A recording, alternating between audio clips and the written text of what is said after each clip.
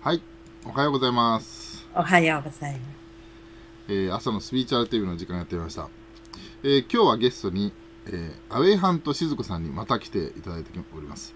えー前回の波照間島の、えーお話がですね、非常に深い話が多くてですね、これはぜひ、ぜぜひ、あのやっぱりいいいなって話が多かったのでですね、ですぐにですね、じゃあ、あの、まあ、静子さんっていうのは、まあ、ご専門が、波照間島の方もご専門だとは思うんですけど、もう一つご専門がありまして、対峡とイルカというところにですね、えーあのすごくいろいろ造形が深い方なんですね。そこの話もぜひしていただこうということで、今日あの来ていただいております。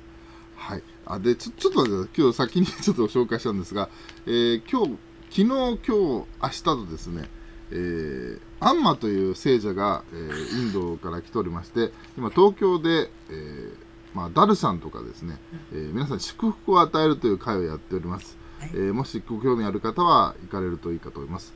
実は私、昨日夜取材にちょっと行ってまいりまして、えー祝ダルさん受けてきました。はい。えーということで、えー、静子さん知ってらっしゃいますかね、アンマは？あの、それを受けた友達から聞きました。あ、はい。もう本当に素晴らしい体験だったと彼女は言ってましたね。あはい。はい。ということで、あの、あそこの花びらとかですね、ちょっとこれバラの花びらなんですか、花びらもらって、えっ、と、チョコレート、あ、チョコレート、ちょっとえっ、と、そうチョコレートいただきまして、ちょっとまだ食べてないんですけど、これをあと後で食べようかなと思ってます。はい。ということで、いろいろもらってきてますんで、あはい。えー今日と明日で終わってしまいますのでね、えーぜひ、えー興味ある方は行かれてください。まあ、多分ハグしていただいて、その人のカルマとかを飛ばしてくれる業をやってくれるみたいなんですよね。全部は飛ばないと思うんですけど、ほんのちょっと1個2個とかを飛ばしてくれるんだと思うんですけどね。はい。えーということで、えー参考になればと思います。はい、ということで、あのお待ちかねの、えーアウェイハント静子さんの方にちょっと切り替えていただきたいと思います。はい。あ、おはようございます。おはようございまえす。今日はえーまたよろしくお願いいたします。こちらこそ。あ、で、すいません。私ね、せ前回うっかりしまして、すごく波照間島の話が面白くて、で、私写真を出してくださいっていうタイミング。くさびが出てる。あ、くしゃみ出ちゃう？大丈夫ですよ。くしゃみしてもいいですよ。はい。大丈夫ですから。あの、えーハテルマの？波照間写真をあの出してくださいっていうタイミングをす言い損なっちゃったんですよ。実は写真がいっぱいあったんですよね。はい。で、今日はちょっと、その写真を出していただいて、波照間島の話をまだちょっと補足していただいて、その後に、えー、胎児とイルカという方にちょっと行こうかなと思うんですけど、よろしくお願いいたします。はいそれでは、じゃあ、波照間の写真とかよろしいですか？はい。はい、よろしくお願いいたします。はい。あの、主人と一緒に波照間島へ、神行事の勉強に行かせていただいた話はこの前しましたよね。はい、で、その時まで、波照間島で行われる神行事は、記録が許されていなかったわけです。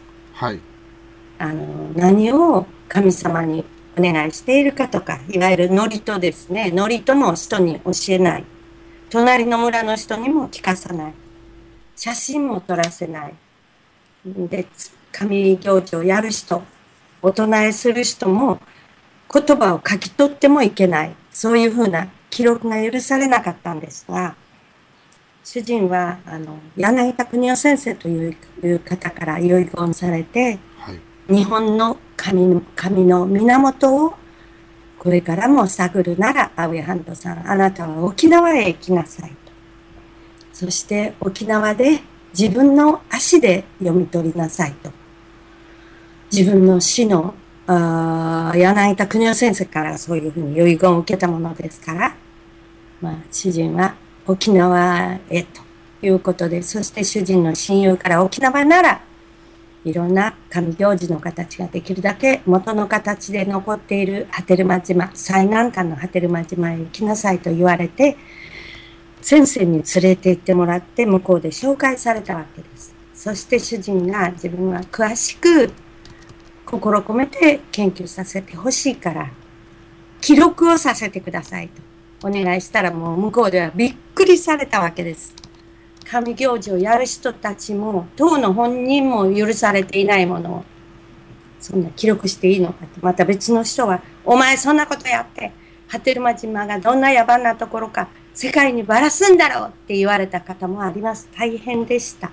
そこで、主人はもう本当に精神込めて、これを研究させてほしいんだし、やがては他の島との比較研究もして、そうして初めていろんな昔の文献とも比べながら、日本の神の源をもっと深く知りたいというふうな態度でしたので、お願いしてお願いして、では神様にお伺いしてくださいということで、神司、はい、神様のお願いをされる方々から神前で神くじというのを引いてもらいましたら、神様のおくじ、つまり一つまみ、神前に備えてあるお米から一つまみ取って、それを二粒ずつ並べるんですよ。何ペアになるかっていうんですけど、それが綺麗に二つずつ出るといいよっていうふうになってるんですが、私たちの、こう、あの、やっていただいた時は、6組出たんです。それで、そしたら神司たちがちょっと厳粛な顔になられました。ああって言われて何かなと思っていたら、6組、つまり、もろによし、すべてよし、何を記録してもいいですよということになったんです。そこで、まあ仕方がないねと。そしたら向こうも覚悟されまして、私たちに本当に誠意を込めていろいろ記録を許してくださったという、そういう経過があって、この写真集ができました。たくさんの何千枚という白黒写真とカラースライド、それから何十時間の録音もさせていただきました。それは今では私は、まあ、お預かりしている大切な記録であると考えて、まあ、なんて言うんでしょうか。一種の文化遺産とでも言うんでしょうか。これを大切に、えー、整理してですね、あの、島にお返しするとそういう気持ちでおります。大変謎が多いから、なかなかまだ解けていない祝詞の一部もありますし、そして非常に貴重になった写真たちがあるんです。生の録音、昔の司たちが一生懸命お祈りをあげておられるとこ、先ほどの写真にも見せましたね。この、この方々のお祈りの声も、はい、あこうちょっと光っちゃうけど、この方のお祈りの声とか、神、神行事の時に裏歌われる神歌の録音もありますし、そういうものを地元にお返しすることはとても大事だと思いまして、まあ、主人から私が譲り受けたライフワークですね。だから私は死ぬまでに、いや、頭がボケる前にできるだけのことを 謎もできるだけ解いて、そして解けている謎は頭から取り出して、書き記したいと思うし、できるだけ皆さんにいい形でお渡し、いや、お返ししたいと思ってるんです。でもね、先ほどのイルカの話も、胎児の話も、ハテルマの研究の話も、実は全部私の中ではつながっている。はい。弥勒の世という考え方。弥勒の世が来ますようにとみんなお祈りしてますよね。その弥勒の世に向かって今いろんなことが行われている、起こっていると思うんですけれど、その一部としてこのようなことが起こっているんだなとしか思えない。全部つながっていると思います。弥勒の世といえば沖縄はね弥勒様っていう弥勒の世が来るっていうことを言ってるお祭りがありますよね。はい。そうですね。いわゆるその世界平和ですよね。はい、うん、平和の世。宇宙はみんな一つだよ。世界はみんな一つだよ。そういうふうな感じ。世界はみんな仲良しだよという、いわゆるまあ、世界平和の一つの表現に弥勒の世という表現があるわけですね。それに向かってみんな生かされているんじゃないんでしょうか。うんなるほど。あさハテルマの写真はちょっと出してもらってもいいですか？では、はい。どれをまずこういうふうになっていまして、えっ、とこう本当に貴重な写真写真ですよね。はい、そしてこうこれは神司がはい。あのお祈りしておられるとちょっと窓の光を暗くしましょうか。あでも、うん、その角度だったらまあ大丈夫ですけどね。こういうふうにはいはいはい。大丈夫です。見えます。うん、はい。見えますかね。見えます見えます。よく見えます。うん、でこの中にまあいろんな行事の写真が出てますけれども、うん。歌木原歌木まあ原生林ですね。波照間島はあの別に鳥居があるわけでなくねあの原生林の中に静かにひっそりと最も聖なる場所があってで原生林にはは神様のお座敷でもあるという表現もありますからうん。まああの日本本土の神社とかに慣れている人はここ何にもないじゃないって思われるかもしれないんですがやはりそれが元の形に近いとそういうふうに考えられていますけれどねうんでもそのお祈りする心は本当に神々と親しくして大自然を大事にしましょうとそういう感じなんですよ。うんだから私たちもこの写真、この写真は主に私が撮りました。なぜなら、このような厳粛な神行事は、女しか近近寄ることが許されないもんですから。で、主人は家にいないと大変なことになるよと、よく、まあ、脅かされたというか、はい、警告されましたね。あの、神行事、雨乞いとか、あの、健康願いと、まあ、行事によるんですけれど、近寄ると一生男で亡くなりますと。そのように厳しく言われたからね、うんかしこまって、現場には寄らないようにしておりましたが、はいそうやって、まあ、出来上がった写真集であり、いろいろ記録させてもらったんです。どれか、えっと、そうですね。あ、あーっと、ちょっと、あの、島の人たちは、これでちょっと見えますかね。あの、とても笑顔がいいんですよ。で、ちょっと、あんまり見えないな。まあ、現物を見ていただく方がいいんですけど、あちこちで今まで写真展もやらせてもらいましたよ。東京池袋の純駆堂でも、たくさんの写真を展示させていただきましたし、そうなんですかはい。もう今から8年前ですね、うん写真集が出て間もなく、あはい写真集と理論編もあるんですよ。ほうほうほうはい。そういうのが出て間もなく、あの、講演したり、それから展、あの、写真展をあちこちでやってまいりましたけれども、はい。そうしながら少しずつ皆さんに聞いてもらっていますが、やっぱり、この、私も今も一生懸命、そのハテルマの方言の古語で人間が神様に対して最も敬意を込めてお唱えするのが、まあ、向こうの、観仏、観の無とか、逃げお願い、逃げとか、まあ、祝詞ということですね。そういう言葉なんですけれども、これは本当に真心を込めて、その行事の時に、その行事の決められた場所でお唱えするものですから、いい加減なところでつぶやいてはいけないわけですよ。あの、実は、主人と集中研究をやらせてもらって1年後にまあ、ヨーロッパへ帰ったわけですね。で、間もなく、主人は、えーロンドン大学、ケンブリッジ大学、オックスフォード大学で、こう、あの、講演して回ったし、そしてドイツでもそういうことをしましたね。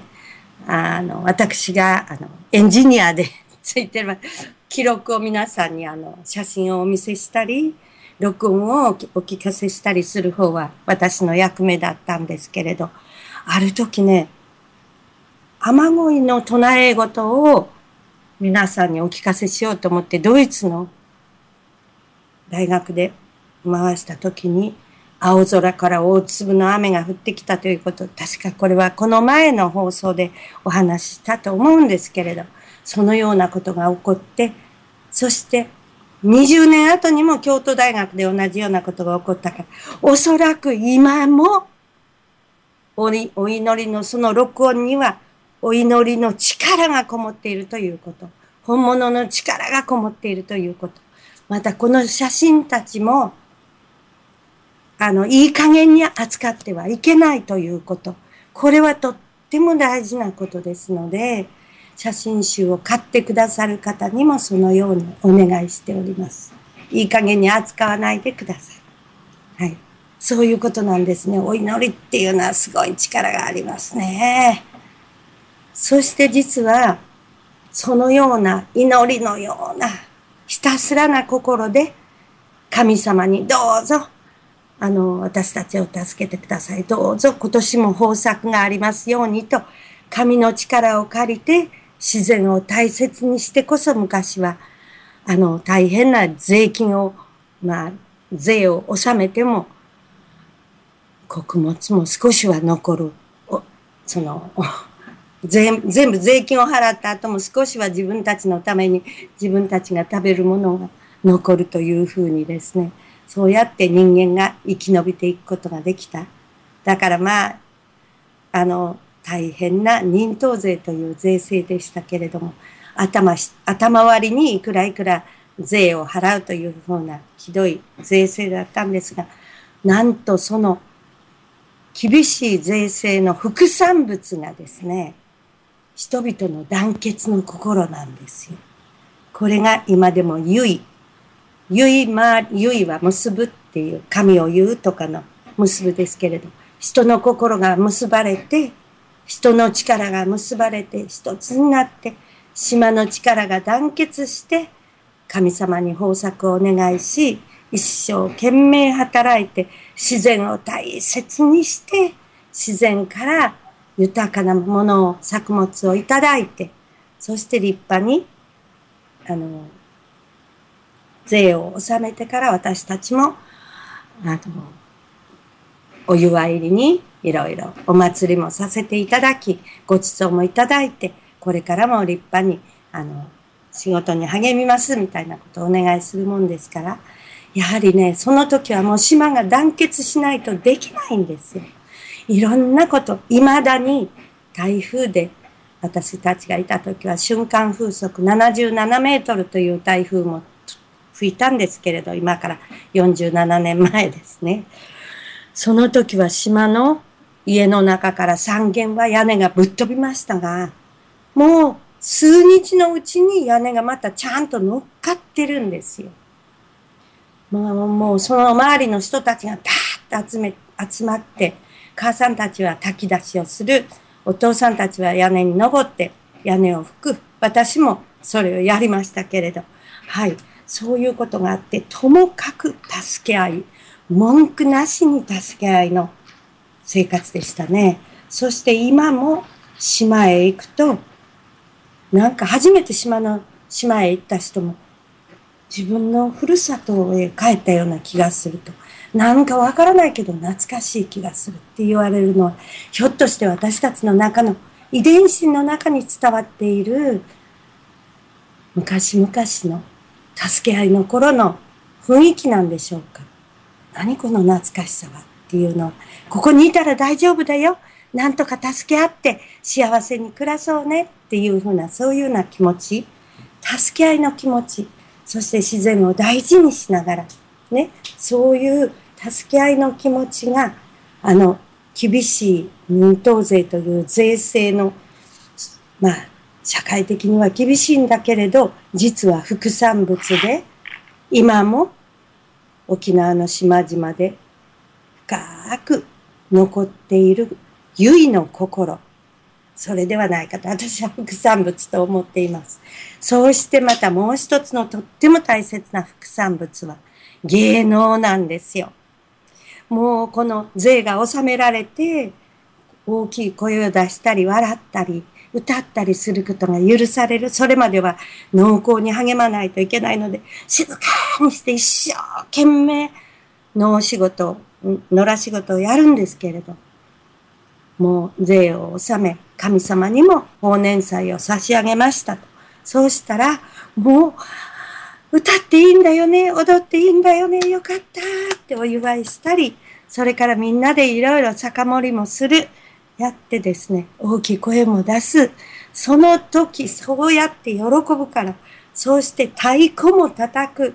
はい、三振ご存知ですね。三振も出てくる。笛も、もう古い建物から取ってきた、あの、建建材から、か昔あの古い竹がたくさん屋根の下につく使ってあったんですけど、こういう古い竹は笛を作るには理想的らしいんですよ。乾ききっていますから。それで穴を開けて竹を、竹から笛を作って、その笛を吹いてですね、そうやって、もう苦しい生活、日常生活から変わって、くるっと変わって、喜びの表現、それが踊りになり、歌になり、この楽器演奏、気学というとおかしいけど、笛になりお囃子になったんですね。だからね、もう島では滲み出ているし、みんながそれで大きくなっていくから、沖縄の離島、いろんな島でもそうですけれど、私は波照間に一番詳しい。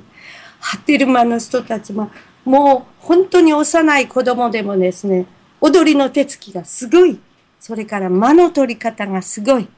それから、あの、お盆ですね、あの、お茶なんか運ぶお茶の盆をくるっとひっくり返して、ひっくり返すともうそれが立派な太鼓になるんですよ。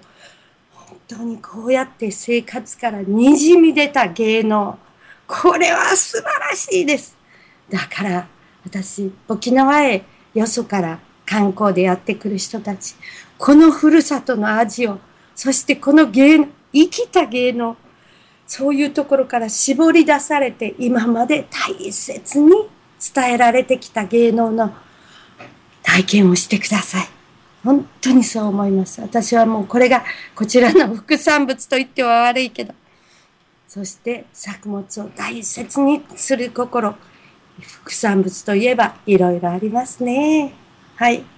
でもこの輝く芸能、これはね、本当に皆さんに聞いてほしい、見てほしい。いや、体験してほしいです。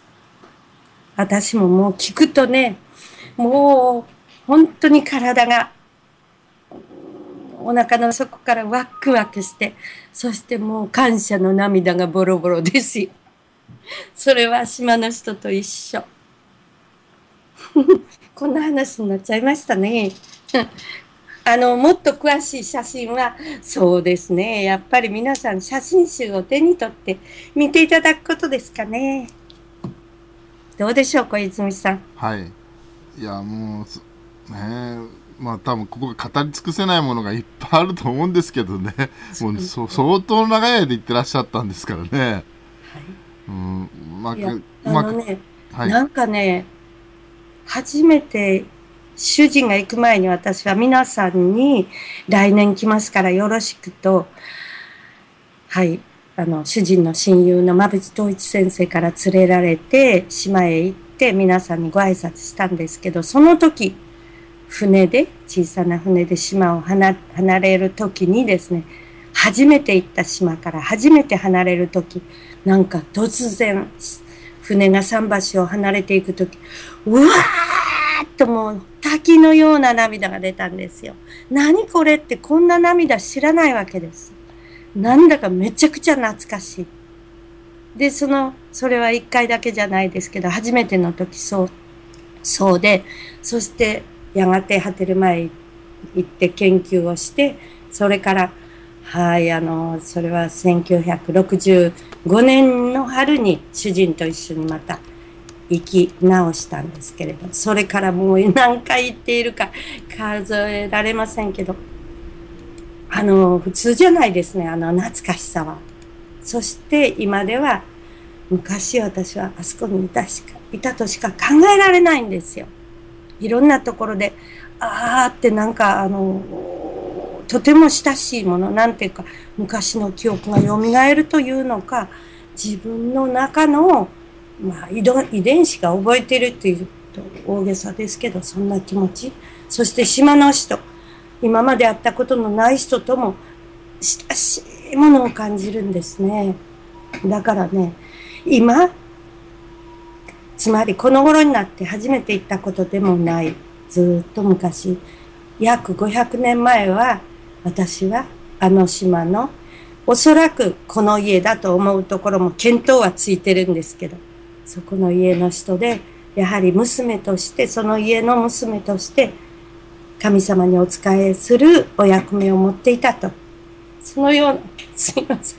またこんなこと言って、突然、この突然の涙は普通じゃない。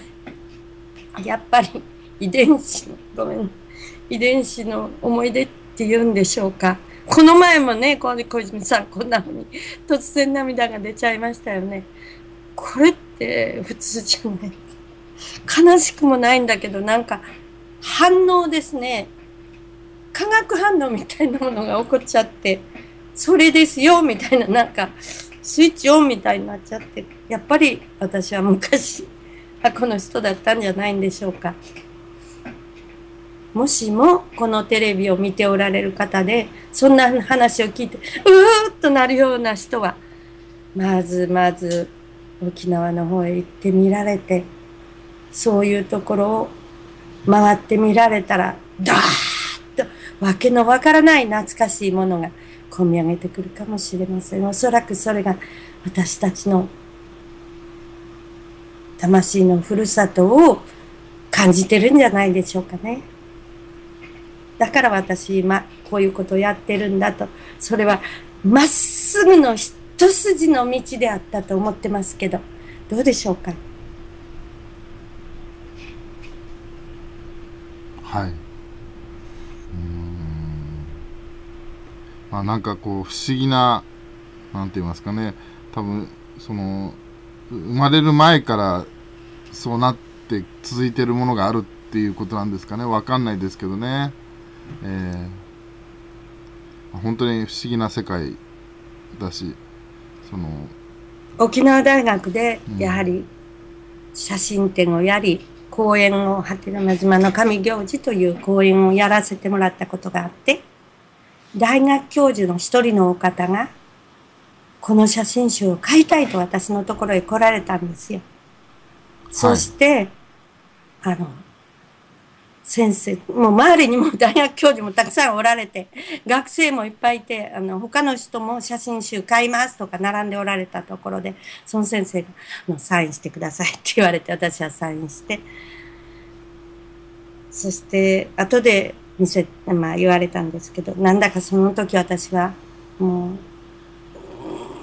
心のふるさとを分かち合うと書いてしまったらしいんですね。もう覚えてないんだけど、先生に後で言われましたが。そして、それを書いたら先生が、握手してくださいって言われるんですよ。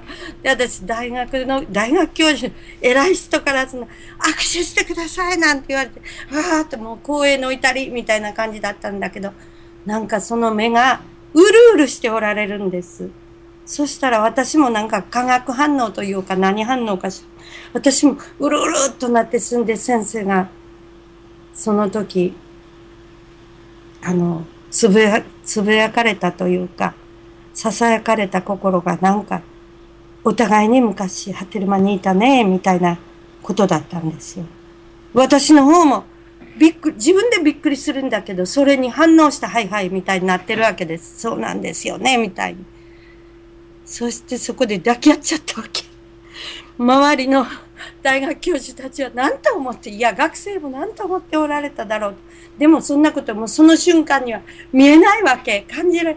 バーッとどっか行っちゃって。ただ、一瞬のお互いの再会、確かめ合ったひとときでした。そういうことがあるから、そしてその先生は後であの時のことを覚えておられますかって。いや、何も覚えてませんって言われたから、ええー、私は忘れられないんだけど、とか言って、一緒にその島を訪問しました。ハテルマ島へ後に一緒に行った時、やはり先生はあちこちですっごく反応されましたね。なんか、島の神様に、よく来たねっていうふうな感じをお互いに対決しました。だから、そうですね。冷静であるはずの大学教授にそのようなところを見て、うん、そういう態度を見てしまったもんだから、あ、私がそんな風に感じてもいいのね、みたいな気持ちになっちゃって。でもこれはやっぱり私は本物だと思います。この突然やってくる。ところがそれは私がイルカに出会った時もそうなんですよ。いつもいつもっていうわけではありません。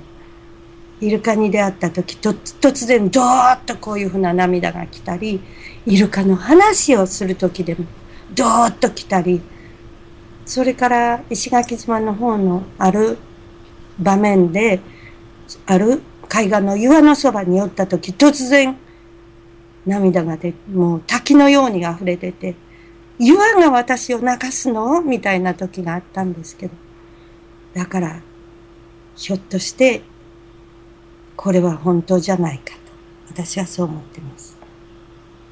何か遺伝子は、こんなにたくさん遺伝子、生まれ変わって生まれ変わって生まれ変わって私たちの体に続いてるわけでしょ？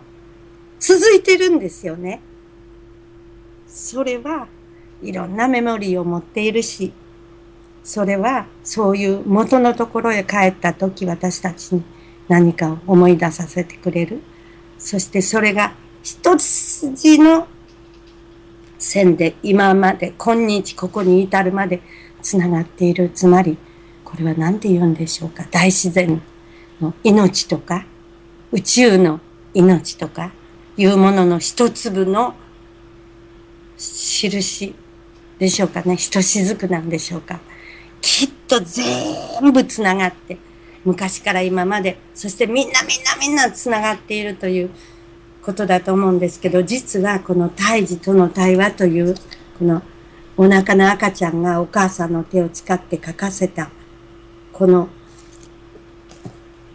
あの、対話集の中にもね、宇宙はみんなつながっているという表現が幾度も出てきますけど、これってきっと本当のことなんですよ。皆さんそういう体験ありませんか？私は聞きたいな。いや、聞かなくてもいい。皆さんに思い出してほしい。はい。ということで、ハテルマの話をしていただいたんですけど、これからちょっと胎児との対話とイルカの話にちょっと入っていくと思うんですけどねよろしくお願いしますあのちょっと時間も見ながらやりましょうね えっと9時まででしたねああ大丈夫ですよもしまあ、しずこ先生、しあ、しずこさんが よろしければ、えっ、ー、と、先生って言っちゃいけないんです。ごめんなさい。そうです。しずこです。はい。固、はい、く止められております。私はこの頃、ますますね、この間75歳になったんだけどね、老いてますますいるかという 実感なんですよ。人間袋をかぶったイルカという実感なんです。そうすると自分のことが受け入れやすい。ところが人間だと思うと、75歳にもなってまだまともに皆様に名刺一枚差し上げられない。どっち向けて渡、あ、どっち向けて渡すのかぐらいはわかるんだけど、名刺入れの上にどっち向けて載せるのかとかね。どこから取り出すのかとかね、そして、あの、冠婚葬祭の決まりとかですね、そういうのがどうも身につかないんですよ。で、もちろんあの、人生の3分の2はヨーロッパで過ごしてきましたので、日本的礼儀作法あんまり詳しくないし、けれど、自分が人間の袋をかぶったイルカだと思うと、まあまあそれなら、まあまあやってるかと 人間らしくなってるよねみたいな感じするんですでもお芝居は大好きだからお芝居の大好きなイルカかな。の私ね、思い出、子供の頃の思い出なんですけど、なんかね、よく似たような夢を見ていた。その夢は私が大きい魚だったという夢な、そういう夢なんですよ。不思議ですね。あの、あんまり気にもかけなかったんですけど、ずっと後にイルカと出会ってから、あの、私が大きい魚でゆらゆらと揺れていたあの夢は、ひょっとしたら自分がイルカだった頃の思い出だったんだろうかと思うようになりました。なんだかね、いつも自分が大きい魚でゆらゆらとね、揺れてたんですよ。うん、で、水の深くを潜ってたし、なんか壁の、岩の壁みたいなところをスーッと通っている思い出もあるんです。で、よっぽど後になって、イルカのことは別に特別なんとも思わなかったんですけど、ヨーロッパ、まあ長いと言いましたが、ヨーロッパで私はいろんなことをやってまして、あの、大学で書道を教えていたんですけど、なんか書道をやると、それも、あの、まず皆さんが呼吸が気持ちよくなって、その体からどーっと何かが流れ出るように、お腹の中に墨がたっぷんたっぷんしていて、その墨が、あ肩から肘、肘から手、手から筆を伝って、ドーッと目の前の紙の上に流れ出るようにしてみましょうか、と言って、皆さんにいろいろ書いてもらうとすごいものが生まれたんですよ。これはチューリッヒ大学の 日本学科で、はい、主人が学科の学学科長というか学部長をしておりまして、そこで私は講師をしていて、書道のクラスも持っていたんですけど、その書道のクラスでですね、そういうふうにお腹からどーっと流し出すような感じの、私は筆遊びとか墨跡、墨の後ですね。そういうふうに呼んでおりました。なぜなら私は書道の先生でも何でもありませんから。でも、はーっといつも自分の前に、目の前に現れてくるこの書、この墨の後ですね、筆の後、これを見るのがもう大好きだったんです。ワクワク。そして、皆さんの中から、なんかこう、呼吸を楽にして、体を楽にして、さーっと、わーっとこう、高まってくるものを湧き上がってくるものを流す、流し出すようにすると、なんだかそのたんびにすごいものが紙の上に着陸するというか、生まれるんですね。そしてそういうのがうまくいったとき、途中で、うダメだとかならないとき、うまくいったときは、書いた本人がなんか気持ちよさそうなんですよ。そして皆さんが、でもあの、書道のクラスの後は、呼吸がしにくいとか、えー、ごめん、呼吸がしやすいとか、肩のこりが楽になりましたとか、耳鳴りが消えましたとか、長年の耳鳴りですよ。それから、私はバイオリンが弾きやすいんですとか、みんな全然違ったことを私にレポートしてくれるんです。だから結局、私は癒しの筆遊びという名前を付けました。はい。みんな筆になってみようか、みたいなことやってたんです。そしたら、ある時私は、あ、国際会議みたいなのに呼ばれたんです。それは面白い会議ですね。あの、スイスのチューリッヒには、そこで私たちもチューリヒ大学で主人と私は教えていたんですけれども、すぐそばに、えー、スイス国立工科大学 ETH 工科大学というのがありました。テクニッシュホフシュレ。そこは、あの、アインシュタインも関わっておられた大学ですね。そして、この大学は、毎年、毎年、毎夏、面白いイベントをやってたんですよ。学者を遊ばせる会議というのをやってました。そして、毎夏、あの、北イタリアのトスカーナ地方に、あの、まあ、山というか、まあ、山奥ですね。山奥に修道院がありまして、その修道院で、この学者たちが、つまり大学生も、そして学、があの学部の教授も、そこへ行って、そして外国からも人が来て、そこでともかく遊ぶんです。つまり学者を遊ばせる国際会議というミーティングだったんです。で、遊びに、遊ばれに行く人と遊ばせに行く人が集まるわけです。そしてもう難しい洋服を脱いで、のびのびと、あーなんて面白くなる。リラックスする。はい。私はもちろん筆遊びを持って、筆と墨を持って、な、そこの方々を遊ばせに呼ばれたわけです。そして、私と同じく遊ばせに呼ばれたのが、イギリスから来た、あの、オックスフォード大学卒業の薬学博士、ドクター・ホレス・ドブスという方でした。この人は、あの、まあ、いろいろ長い話があって、イルカはなんだか人を癒してくれるんだということを体験して、その記録映画を作って、そしてそれが BBC のテレビでも流されたわけです。そうするとなんだかいろんな人がですね、あの、うちのばあちゃんが大変な鬱で、この映画を見てから、あの、このイルカと泳ぎたいなんて言い出したんですよ、とかね。うん。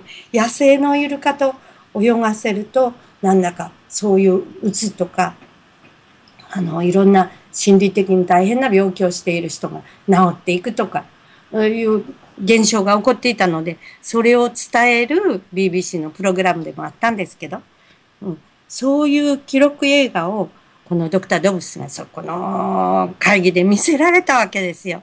そして、あの、みんな、その、先生たちはですね、学生もですけど、その、野生のイルカが、重症のうつの人とか、そのパラノイアっていうふうな、その、なんていうんですか、心理病の人だとかが、あの、野生のイルカと一緒に水に浮かべ、浮かびながら、なんだか、少しずつ動き始めて、イルカと見つめ合ったり、人間はのことは見つめないのに、イルカと見つめ合ったりして、嬉しそうに船に戻ってくるところを記録しているんだけど、そんなのを見ろ見ながら、まあ、みんな何を考えてたんでしょうね。ところが私はですよ、その場面、イルカと人間が、こう、スーッと近寄ってきたところを見て、そしてイルカがなんだかちょっとこう寄り添ってるんです。その場面を見たとき、自分に全然わけわからないんだけど、突然、親だっていう感じがしたんです。何語で浮かんだかわからない、もう。親だっていう感じがしたの。で、親おかしいですよね。イルカなのに、親だっていう感じ。そしてその時から、ドーッとあの滝のような涙が、はい、ハテルマを初めて離れた時に出たあの涙なんです。うん、出たんです、その時。で、私はだけど、この公演と映画が終わったら、私の番で、今度は、この、癒しの筆遊びでワークショップをやらないといけないのに、人にそんなことをやらせるどころか、もう自分がわーわー泣いちゃって、もう、で、どうにもならない。それで、あの、先生のお話が終わったら、すみませんって言って手を挙げてですね、たくさんの人がホールにいるのに、その中で別に、そのそこの大学のメンバーでもない、ゲストに招かれた私が立ち上がって、あの、もう、私、なんだか、もう、わーわー泣いてしまってどうにもなりません。この次の、あの、私のワークショップはキャンセルさせてください。私のワークショップに来ようと思っていた方々はどうぞ、私と一緒に、この動物先生のところへ行って、もっとイルカと癒すの話を聞きましょうとか言ってね、ばあは泣いちゃって、早くこの先生を日本へ連れて行って、日本でみんなにハートマッサージをやらせたいとか言っちゃったんですよ。そうしたら実際それが受け入れられて この先生の話をもっと聞くことになって、そしてなんと偶然も偶然、2ヶ月後に実際この先生が、イギリスの先生が映画をぶら下げて日本へ来て、日本で600人の人が入ったホールで、その映画を見せながら話をすることになりました。もちろん私はまたまた泣いてしまったんだけど、でもね、他の人もそこで泣いてるんですよ。で、このデドブス先生は実はね、すごく嫌だったんです。あの、戦争の思い出における日本、日本に関する思い出が、あの、自分はあんまり良くなかったと。うん。第二次世界大戦の思い出が嫌だったし、しかも日本人はクジラとかイルカを食べるだろう。僕は好きじゃなかったんだよ。だから、その、たくさんの学者の中でちっちゃな日本人が立ち上がってわーわー泣きながら自分のキャあのワークショップをキャンセルして、この人のところ行こうって言った時、あんまりいい気持ちしなかったんだよ。だけど、言われるままにここへ来て、こうやって日本人の前で話したら、大の男だって泣いてるじゃないかと。え自分は何という愚か者だっただろう。今までの自分の浅はかな知識で日本人のことが大嫌いだったんだけど、なんだ、こんなに心の温かな人もいるじゃないか。自分が間違っていたってね、先生はその場でものすごく反省しちゃったの。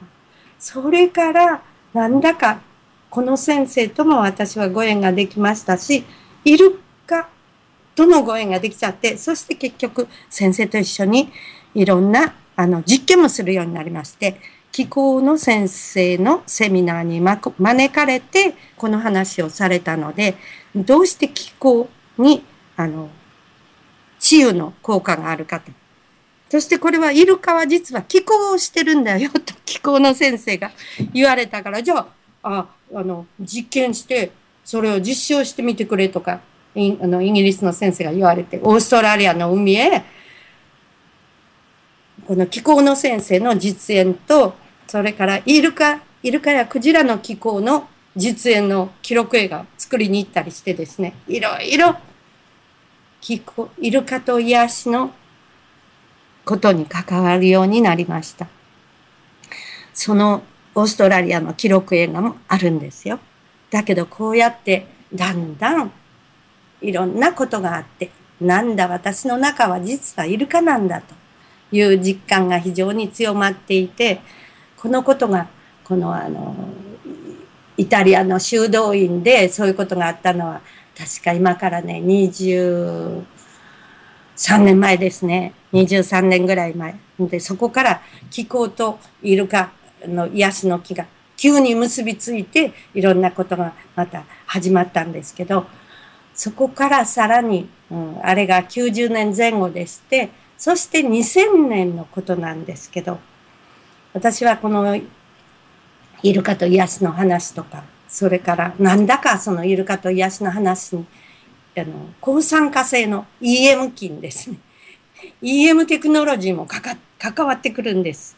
この気持ちのいいもの、みんなを癒してくれるもの、それから環境に優しいものみたいな意味で、まあ、全部が世界平和の方に向かっている気の流れでしょうかね。そういう気の流れに、えー、誘われてというか流されて、私はいろんなものに出会っていって、そういう国際会議をあちこちで開いたりしながら、そうして講演会もして、やがてはなんと EM の地元の沖縄にも来て、あちこちで、イルカと EM の話をしたりしちゃって、そしてある時、石垣島でそういう話をしていたら、そこに出席していた、あの、絵描きさんがですね、その人は、あ二課会のメンバーで、あのプロの絵描きさんなんだけど、なんだか泳いでいる時に、えー、まあ、ダイビングが好きで泳いでいる時に、クジラに出会っちゃって、クジラに見つめられて、そしてそこにいたあの若い女の子もう一人の娘もあクジラに見つめられて、二人で一緒にそのクジラの目を体験してから、それを追っかけて石垣島まで来ちゃって、で、石垣島でもうイカを作ってるわけです。そして、イルカやクジラのことに近い、イルカやクジラに近いところで、暮らしながら、彼が生計を立てるのは、イルカやクジラを船体、船のボディに描いて、そしてそう、絵描きさんですからね、それで生計を立てて、夜は、あの、彼女と一緒に海に潜って、海ん中もやって生計を立てていました。で、あの、子供も生まれて、その時、奥さんは3人目の子供を身ごもっていて、旦那さんの方は私のイルカと EM の話を聞きに来ていた。ところが彼があの、実はこの奥さんとの間に今度できる子を、なんだか今度はイルカが周りを泳いでいるところで産み産みたいねという気持ちになってたらしいです。それで、え家へ帰って、おいおい、今日僕があの話を聞いてきた人はな、女の人でこうこうこういう話をして、イルカの話してたんだけど、あの人なら世界中でどこにそんな海があるか知ってるかもねって、聞きに行ってこいよということで、次の朝、このお腹の大きい女性は私が泊まっている民宿に送り込まれてきました。あの、この、なんだか今度生まれる子は、あの、イルカが泳いでいるところで、海に、海を落としたいんですけど、どこへ行けばそんな海がありますか？って彼女が聞くから、あのね、そんなあの深いところで 海海落とせないし、浅瀬までイルカが来るって言ったら、まあ、私が知っている中ではオーストラリアぐらいかな。でもオーストラリアまで行く、行って赤ちゃんが生まれるまで待っているようなあなた、お金があるの？旅費もかかるよ、滞在費もかかるよ。って帰ってこないといけないしって言ったら、お金なんかありません？海中でなんとかしのいでいるんですからっていうか、お金なかったらどうしたらいいかな。じゃあまず赤ちゃんとお話ししてごらん。赤ちゃんを見てごらんって言ったら、どうやって見るんですかって言うから、もちろん目を閉じてみてくださいよ。そしたら彼女は目を閉じて見てるみたいなんです。もちろん私はお腹の中に赤ちゃんがあるの、いるのを知ってるから見えますよ。っていう。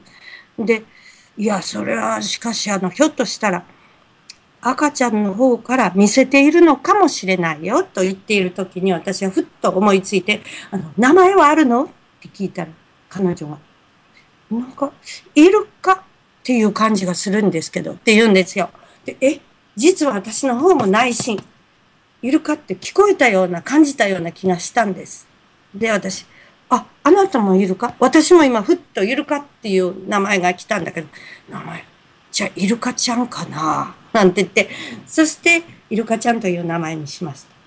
そしたら彼女はまた目を閉じて、えー、あの、どうしたの？って言ったら、あの、お腹の赤ちゃんって手振るんですか？って言うから、私、妊娠したことないし、わからないよ。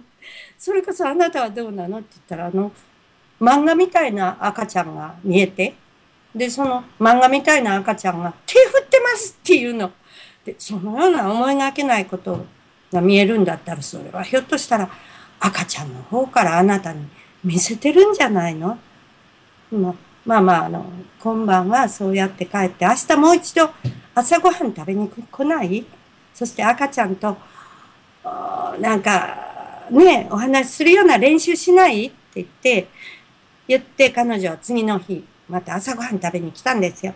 そしたらまあ、が、ガツガツと言うとあれけど一生懸命食べてるの。で、それもね、ベーコンを、もう山のようにお皿にベーコンをうんと持って食べてるんです。あんなにベーコン食べて大丈夫なのかなと思ってたら、あの、じゃあ、あの、ぼつぼつ、あの、赤ちゃんとお話しする練習しようか。私はね、いろんなことを人に教えてて、まあ私もイルカっぽい人間と言えばいいんでしょうか。いろんなことをしてみんなと遊ぶのが好きだから、あの、目を閉じてお腹の中を見てみようとか、目を閉じて何が見えてくるかな。実はこれはユング方式なんですけど、あの、夢ジセラピーって言うんですけど、その、いろんな人と私がその夢ジセラピーをやると、イルカがよく出てくるんですよ。夢ガイドみたいに。で、あの、そういう時はイルカの夢字とか言ってるんですが、私はまあ彼女と、じゃあイルカの夢字でやってみようかと。それで、はい、では、って言って、まずお箸を置いて、目を閉じてみて、おなで、そして、リラックスしてお腹の中をずっと見てごらんって言ったら、彼女も、えー、っていうのどうしたの？あの、ごめん？何がごめん？って言ったら、赤ちゃんがね、気持ち悪そうな顔してるんですって。どうしたの？赤ちゃん気持ち悪いみたいなの。じゃあ赤ちゃんに聞いてごらんって言ったら、あ、またまた、ごめんごめんってどうしたの？って言ったら、お母さん、いつもと違うものを食べたから、僕気持ち悪いよって言ってるんですって。ごめんごめん、もう食べないからって。そしていつもと違うものって何？って言ったら、ベーコンです。こんな贅沢なものうちでは食べられませんから、今赤ちゃんのためにと思って一生懸命食べたんですけど。そしたら赤ちゃんが気持ち悪くなったんだって。そこからうん。これはね、お母さん予期しなかったことでしょだからこれでお母さんは自分が想像したのではない。本当に赤ちゃんが見えてるんだというのを信じることができたわけですよ。だからそこから始まって、お母さんと赤ちゃんの対話が始まりました。赤ちゃんがもっといろいろ教えてくれるようになったんです。でもね、こうやって、まず、あの、朝ごはん終わりました。もうベーコンも食べないで、まあともかくあの、安全というか、いつもと同じようなものを食べて、食べ終わって、そしてお茶も飲んで、あのね、実は、あの、私明日、いや、今日から波照間島へ行くんだけど、なあなたはね、あの、赤ちゃんと、じゃあ、お話を続けてくれる？って言って、うん、そしてあの、どうしたらいいんですか？って言うから、あの、どうもあなたも赤ちゃんも海辺が好きみたいだから、海辺へ行って、あのね、あの、木陰、気持ちの良さそうな木陰にでも座って、そして紙と色鉛筆かなんか持って、まあこれは持って行ってですね、そこに横に置いて、で、赤ちゃん、なんか、お絵描きしようか とか言って、お母さんの手を使って絵を描いていいよ、みたいな、やってもらうのはどう？って言ったら、まあ、あの、やってみます。そして彼女は行って、そして木陰に座って目を閉じたんですって。そしたら驚いたことに手が一人でに動いて、色鉛筆の方へ行くわけですよ。そしてなんだか、あの、スススッと動いて、膝の上に置いた紙の上に、なんだか欠けてるみたいなんだけど、自分は目をつぶっているからわかりません。そうして初めて書いたのが、これね、あの、薄く欠けてるからこうやって見えるはずはないと思うんですけど、まあ、本物をいつの日か見られることがあったら、この胎児との対話の一番始まりに、胎児との対話の本の一番初めに来たメッセージが、はい、あの、色鉛筆で薄く、あの、横線の入った紙に、えー、書かれていて、タイトルもあるんですよ。で、日付もあってね、タイトルがあって、海のイルカというんです。で、その続いてもう一枚書かされました。今度はさっきは、あの、あんまり紙が柔らかすぎたので、少しあの紙を厚めにして、あの、下敷きもして膝の上に置いて書いたら、今度はもう少し色濃く出ましたが、これでも見えるかな？こっちはね、こう、これでも見えないですね。あの、実は、この2ページ目の絵は、ごめんごめん。これは3ページ。2ページ目の絵は、これ、あの、色鉛筆がしっかり書いてあるから、1ページ目のよりははっきりしてるんです。1ページの、ま、1ページ目の、つまり、最初の絵は、海のイルカというタイトルでした。2枚目の絵は、陸のイルカというタイトルなんです。はい。そしてそこには丸の中に尻尾を足のようにして立ち、立っている、で、おっぱいもあるイルカが書いてあるんですよ。そして3枚目、4枚目といろいろ続くんですけれど、最初は海のイルカ、次が陸のイルカ、そしてやがてこれをタイトルにしてメッセージ集ができたんです。そのメッセージ集を、あの、波動の江本先生ってお分かりでしょうか？波動の関係、水からの伝言という写真集で、水には、あの、波動を取り込む、う才能というか素質があるよと。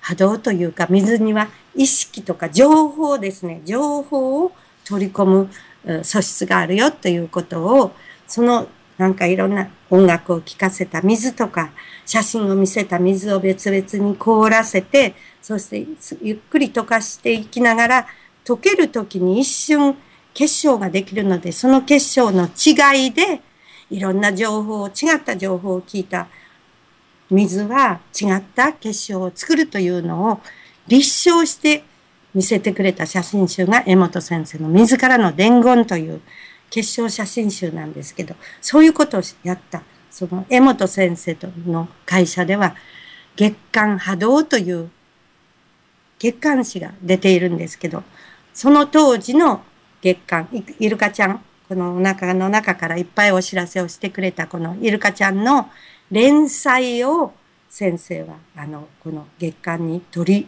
上げてくださったんですよ。そしてそのタイトルがずっと海のイルカ、森のイルカ、第1号から何号か続いて、それを集めたのが、この、あの、胎児との対話という本になりました。その同じ月刊誌に主人と私の波照間行きも乗りまして、江本先生も一緒に波照間まで来てくださったことでしたけれど、はい。それは今何かが琉球で始まるという面白いシリーズでした。はい。そうして始まったこの対話なんですけどね、不思議ですね。お母さんが目を閉じ、私はあの、ハテルマから帰ってきて、どうだった手が動いた何か絵を、赤ちゃんは絵を描かしてくれたの？って言った不思議ですね。手が一人で伸びていて、私は目を閉じてるからわからないけど、いろんな色を選んでは、なんか紙の上に書かせたんですよ。タイトルも来ました。そして、3日目、4日目と続いていくんです。言葉も書かせられるよ、書かされるようになりました。そうしていろいろ書いた中で、もう本当にね、驚くような情報がいっぱいあるんですよ。あの、もうこれから生まれてくる、あの僕今生まれてくる赤ちゃんたちは実は赤ちゃんではないんだと。あの、進化の時代に生まれてくるもんで、まあ、あの、もう、やりたいことは決まっているっていうわけですね。だから僕たち、今の赤ちゃんが生まれたら、赤ちゃん扱いしないでほしい。僕たちがもうやること、いわゆる世界平和のことなんですけど、うん、そのやることをサポートしてほしいと。で、静子は、静子さんとお母さんに書かせるんだけど、お母さん目を閉じていて手が動いて、静子さんと書かされているからびっくりしたりしてるんだけど、静子さんは外国語を活かして、外国のお母さんたちにも頼んでくださいと。今生まれてくる子供たちが、ね、赤ちゃんたちが生まれたら、赤ちゃん扱いしないでください。僕たちがやりたいことをサポートしてくださいというふうに言うんです。そしてそういう子供たちの中でもね、薬を飲まされて困っている子とか、いろいろ分かってもらえないで苦しんでいる子供たちがいるから、その子たちのためにも僕は生まれてくるんだと。うん。こういうことを親たちにお願いするためにも、僕たちが先に、先っていうかな、僕みたいな、あの、表現する子供、お願いする子供が今生まれてるんだよ、と。そういうふうなことが出てくるんです。そしてやがて、いっぱいお知らせしてくれるんですよ。ものすごいスピードでお母さん、目を閉じているお母さんの手が動いてですね、こんな、これも見えないなあどうも、あの、いろいろね、絵があるんですけどね、もう絵もものすごいスピードで描かされる。私は目の前ですごいなと思いながら見てたんだけど、絵も描かされる、字も書かされる。そうしていっぱいお伝えができて、そしてその中には、あの、例えば、もちろんあの自分たちのような子が今生まれる時なんだということ。そして自分たちを、あの、薬を飲まさ、飲まさ、あの、リタリンという薬なんかよく、あの、ちょこちょこ動く子に飲ませてじっと座ってなさいとか落ち着かせたりしたり、それから、あの、うん、まあね、この、いろんな障害を持って生まれる子もわざわざ障害を持って選んで生まれてくるらしいんですよね。それで親に愛を教えるために。だけど、そういう子が生まれたら、それこそいろいろ治療をさせて、苦しませたりしないで、そのまま受け取って大事にサポートしてくださいと。それをお願いしてくださいというわけ。うん。それで、私はもうもちろん半信半疑ですけど、お母さんの方がもっともっと半信半疑なんだけど、お母さんの口からも一人でに声が出てきたり、で、私はヨーロッパからルドルフ・スタイナー系の人知学系の小さな子供のためのハープ、ライヤーのような楽器も持ってきて、これはどうかなってお母さんに渡したら、お母さん、私は楽器はダメですって言うんだけど、じゃあいいから目を閉じてって言うと、僕はどの楽器でも大丈夫だよって 赤ちゃんはお母さんにつぶやくわけ。そしたらお母さんの手が一人でに伸びてですね、その目を閉じたままでその楽器をあんな風にこんな風に持ってお腹にペタンと当ててバサバサバサバサと演奏が始まってですね、なんと海のイルカ、森のイルカという6部作、合計11分ぐらいの素晴らしい曲にもなりました。うん。それから筆書きもしてくれました。そうやっていろいろお願いして教えながら驚かせながらやがて生まれてきた赤ちゃんが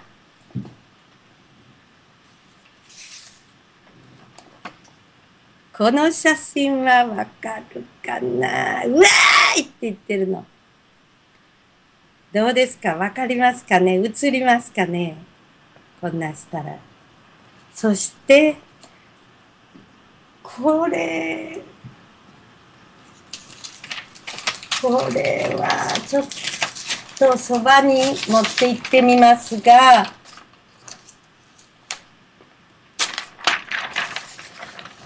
ちょっとこれで見せたいのはですね、私が後ろに立ってるんですけど、あの赤ちゃんのメッセージによると、赤ちゃんと私は幾度も前世でも幾度も親子関係にあったんですって。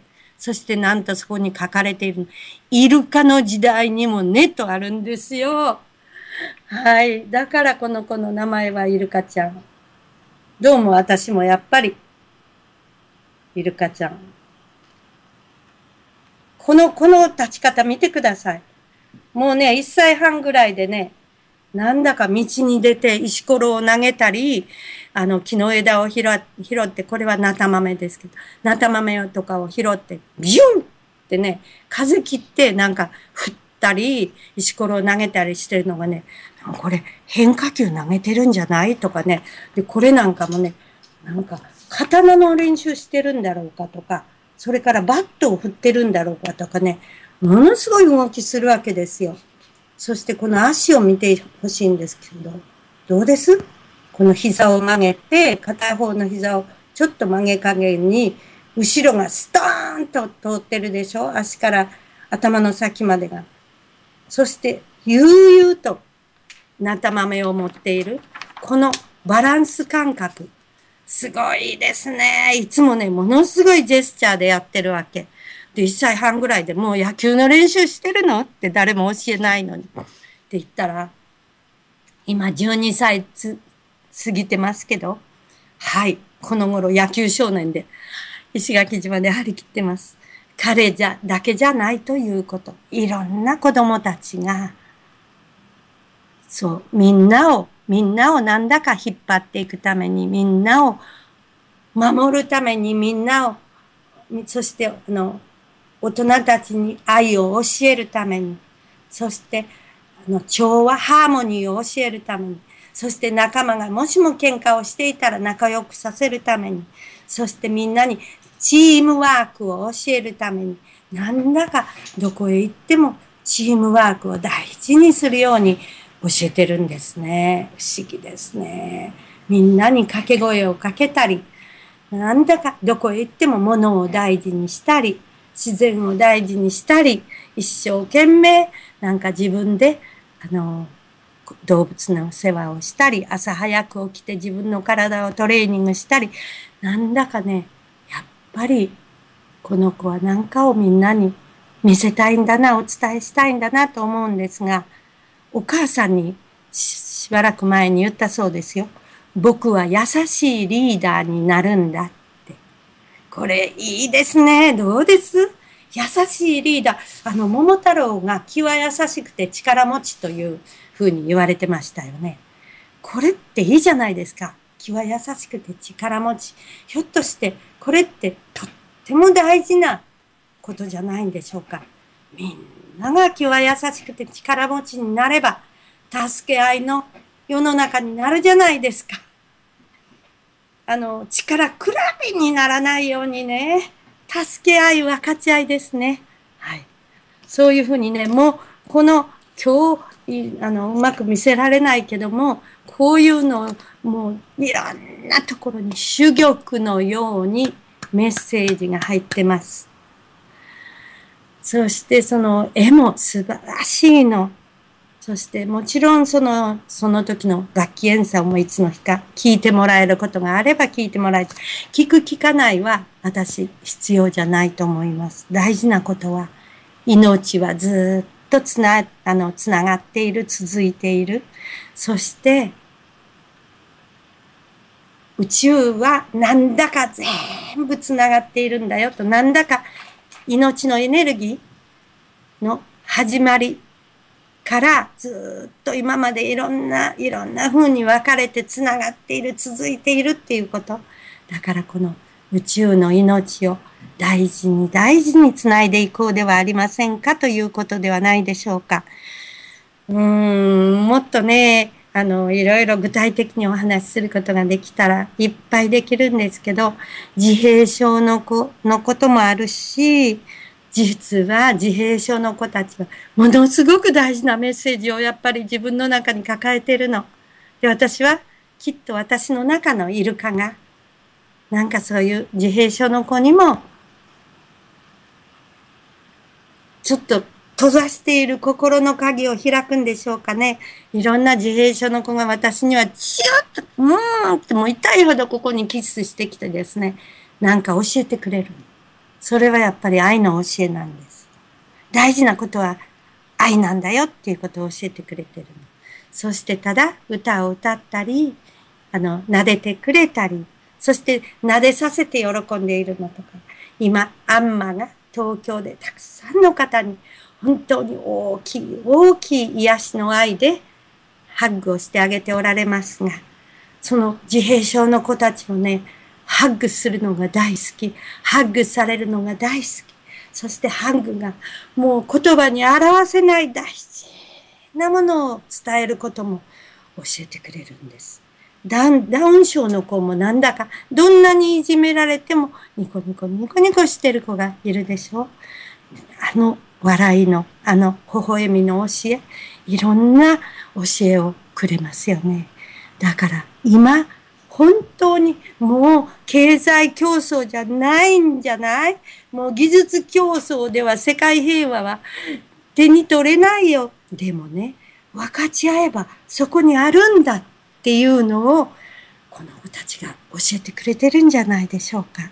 そしてそういうことに関わっているとき、私の中はやっぱりメロメロのイルカです。小泉さんどうでしょう？なんか、あの、あ、そうだそうだ。あのね、不思議なのはね、さっきも言いましたけど、この頃、うん、こういう子供たちが、いわゆる命の大事さを、そして分かち合いの大事さを、愛を教えてくれる子供たちがいっぱいその辺に生まれているということ。そしてその子たちがなかなかもうみんなに教えに来てるんだよ。教えられに来てるんじゃないんだよってもう忙しそうにしている時に親がじっとしてなさいとか、あの、先生の言うことよく聞いてとかやるととっても困ってるんだみたいになる。だから、あの赤ちゃんも赤ちゃんによってはもうおっぱい飲む飲むどころじゃないんだ。僕はずっと見つめることで親に愛を教えるとか、そういう子もいるんですね。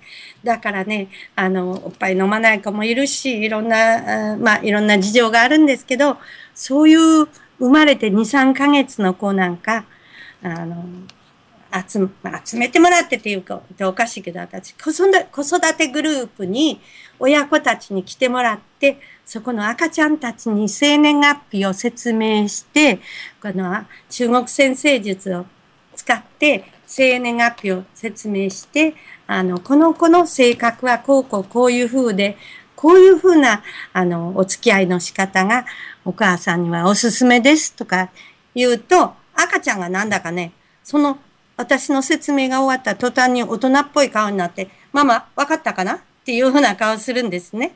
で、その今度は、うん、この赤ちゃんはなんだか親分肌ですから、あの赤ちゃんにこうしなさい、あしなさいというよりはこうしてくれるかな？っていうふうにお願いした方が、あの、いいかな？っていうふうにで、ね、この子も、この赤ちゃんもそうですよなんて、隣同士の赤ちゃんに同じようなことを伝えると、今度は赤ちゃん同士が、なんか、うん、そうだよなみたいに 親分同士が挨拶するような格好で挨拶したりするからですね。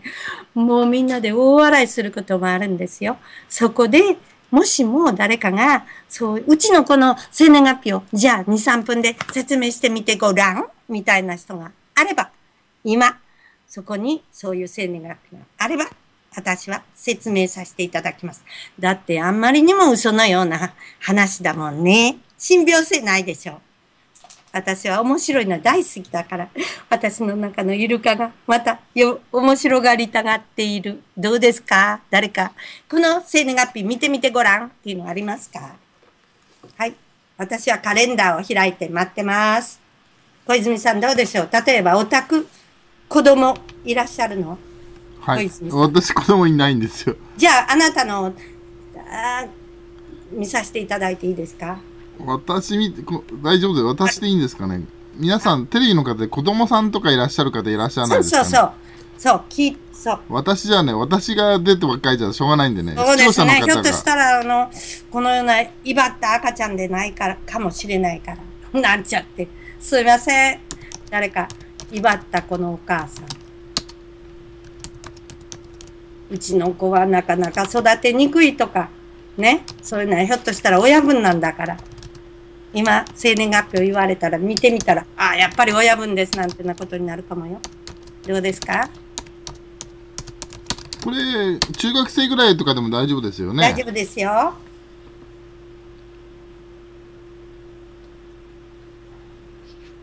平成何年かな？あ、いた。プリンさんのお子さんということで。はい。1990、平成のがいいんですかね。1997年。1997年の10月2日だということです。あ、今いっぱい来てます。3人来ました。あ、10月2日から行きましょうね。はい。1997年10月2日。はい、この子は、あ、すごい。あのね、お母さんの言うことなかなか聞かないと思うんですが、あのね、ええー、頭はいいですね。もういっぱい入っていく頭の中に。この子はなんか親分肌なんです、やっぱり。で、えー、時々わがままと思われ思われるほど自分の信念を通す。で、あの、いつも全体図を見ているようなところがあるから、大人が例えば部分部分を見ていても、その子は全体を見ているようなところがあって、だけど自分はお山の上に立ってこそ良さが発揮できるみたいなところがありますから、自分の小さい間はね、何かと難しい、この子にとっても難しいと思うし、周りにとっても難しいんですよ。いわゆる言うことを聞かない子。で、どうかするとわがままのように思われちゃうんだけど、自分はグループのための責任を持ってとか、グループのためにいろんなことを判断するとかいうところがあるかと思います。だから、自分に、決断は自分に任せとけ。自分が決めるっていうふうなところ。で、お山の大将をやるのが大好き。そうした時に自分の良さが発揮できるから、いわゆる指導者タイプです。そして、お母さんとの間が難しかったかなというのはやっぱりありますね。なぜなら、お母さんのお母さんの、つまりこの子はいわゆる天中殺というのを表現を使いますと、猿取の天中殺。人の上に立って良さが発揮できる。従業員には向かないという性格を持って生まれているんですよ。まあ、天中殺というのはなんだか冬休みのような時期で、そしてそういう、うん、この子はあのまた猿取の天中殺というのを持ちながら、鳥の月、つまり9月から10月の初めなんですけど、そういう時に生まれていて、冬休みの時期に、あの、樹木が実をつけたようなことなんですけど、現象的に。あの冬って実がなりませんよね。ところがこの実はなんだかなってしまったんです。この地球に生まれてきてしまったんです。だからその場合は、本当は生まれるべきでない時に生まれましたというので、随分普通の人と価値観が違うんじゃないかと。そう。そしていろんなことを上からの目線で見ている。だからね、あの、母親にいろいろ言われるのが、お母さんにしたらもう心配でしょうがない。こんな偉そうな子を、このまま社会を送り出して大丈夫かなとかね。そういうんで、お母さん一生懸命面倒を見ようとするんだけど、この子はね、あの、お母さんが美味しいものを作ってくれたりしたらめっちゃ喜ぶ。グルメの星がいっぱいありますからね。もう、生きる喜びみたいなのをとても大事にする子で、その表現として美味しいものも大好き。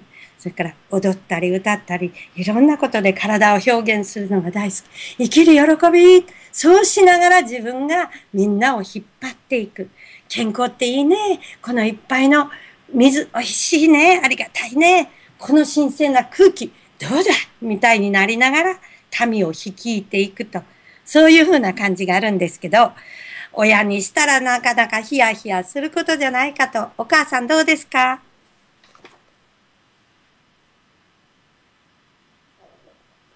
お母さんの言葉は聞こえてこないかな？どうでしょう、小泉さん。えーお母さん反応がありましたら書いてくださいね。あ、そうです。次の方とかいきます、はい、どうぞ。えーっとね、次の方はですね、ピーママさんで、うん。1994年のはい。4月の13日ですね。94年の4月13日。本当はね、もういろいろ詳しく見るんだったら私はファミリーチャートっていうのを作るんですよ。欧米で皆さんから要求されて、ファミリーチャートっていうのを作ることを、あのみんなで研究会でそういうのを開発してですね、ファミリーチャートから見るといろんなことが随分詳しくわかるんですけど、はい、この人は、あのね、えーっと、男ですか？女ですか？あ、どうなんでしょう？今書いてないですね。あ、そうですか。この子はね、あの、やっぱり、あの、早く家を出たいというか、もう、子供の時、幼い時から、ちょこちょこちょこちょこいろんな人のところへ、あんまり親、親のところにいない、じっとしてない。あの、レストランだったら他のテーブルへ行ったり、列車の中にいたらちょこちょこよ別のお客さんの顔を見に行ったり、寂しい顔の人のところへ慰めに行ったり、で、すっごく赤ちゃんの時から可愛いスマイルだったと思うの。だいたいエクブのできている子が多いんだけど、なんだかとっても可愛い。いろんな人に甘いもの、温かいもの、優しいものを運んでいくような、そういうふうな子供さんなんですよ。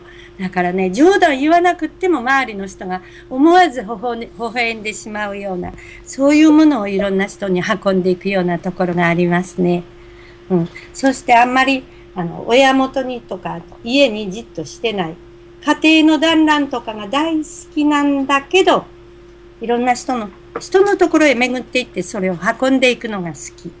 だから人から、うちへおいで、うちへおいでっていうのが多いと思うんだけど、言われるのが。もちろんそれにはそれなりにいろいろ説明することがまだいっぱいありますが、うん、割と親元を早く、親元から早く経済的に自立したいとか、そういう独立心が強かったかな。あ、男の子だそうです。え？男の子だそうです。いや、あ、そうですか。はい。そうしたらね、男の子だと、うーん、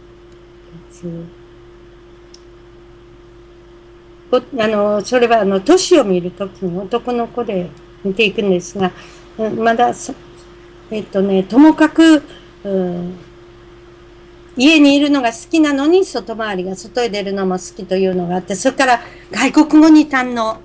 あの、モノマネとか、お芝居が好きで、で、おしゃべりも好きで、そして、あの、もしも外国語を、あの、真似するように気軽に、あんまり文法なんか考えないで気軽にやっていったら、ものすごく身につきやすい。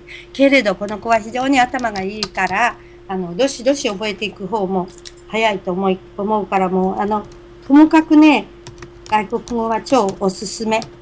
なんかあの、そして、あちこち行く割にはとっても落ち着いて、じーっと周りを観察するようなところもあって、早い早い時には、ザザザザーっとなんかやるのに、じーっと観察しているところもある。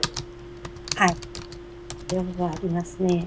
そして、うん、あの、10年ごと、男ですか女がですかっていうのは聞くのは、実は10年ごとの巡りを見ていくんですけど、あの、子供の頃にはそれほどそういうのは、あの、まだ、犬の天中殺を持っている人には、そんなに、あの、初めは、そんなに違いがはっきりしてこないので、ここではそれほど言うこともありませんが、ともかくまず、親は心を広く、ね、この子があの、とことことことこ他の人のところへ行っても心を広く、そしてお家にはたくさんの子を、周り、近所の子も招待しながら、あの、お家で育ててあげてくださいと。家の出入りがいろいろある子だから、親が心を広く持って育てることが大事。うちのことだけやりなさいではちょっとね、この子には狭すぎる感じ。優しい子ですよ。はい。えーどうでしょうね。案外おっぱいなんか飲むときね、じーっと親の顔ばっかり見てなかなか飲まなかったかなと観察ばっかりして、そういうところもあるかなと思いますよ。はい、どうぞ、次。えーっと、アプリンさん、だからこれ最初の方かな。もうぼつぼつ時間が過ぎましたので、はい。ね、えーじゃあ最後にしましょうか。あ、えーっと、じゃあ、お母様からちょっと来てて、最初の方のお母様なんですけど、はい。えー言うことを聞かず、本当に育てるのが大変でした。あえー我慢で大丈夫な、なのかと思うこともありますが、リーダーになると才能を発揮するんですね。えー知識はすごく入るのですが、自分の好きなものだけ、えーそして彼はグルメです。えー それかららさっきの話ですね。はい。うん。それが生きる喜びになるのですね。ありがとうございます。そうね。そしてね、彼はね、あの、もうともかく生きてるんだっていうのを体中で表現するような子なわけ。そしてそれは自分だけじゃないんですよ。みんなに分かち合うの。だから、ある意味で、やっぱりチームを引っ張っていくんですね。この人は、例えば、料理をする人になれば、グルメで料理をする人になれば、料理を通じて生きるって素晴らしいだろうって教えるような。そしてダンサーになれば、その、はあ、体ってこんなにすごいんだなと思わせるような、あの、チーフの、あの、ダンサーになるかもしれない。もうともかく生きる喜びの表現ですね。五感がとても大事。この子にとって。はい。あと、ピーママさんですね。もうもう一人の、えーはい後の方のお母様なんですが、えーえー英語が苦手です。えーあ、そうです。文法とか違和感があるようです。うん。落ち着いた子です。あのね、この子には、私は外国語に堪能と言いましたよね。あの、文法ということは、あの、頭にまずちょっと文法と言わないで、真似をさせる。小鳥が、ひな鳥が親鳥の真似をしてさえずるように、外国語の真似をさせる。大好きな歌手の歌の真似をさせる。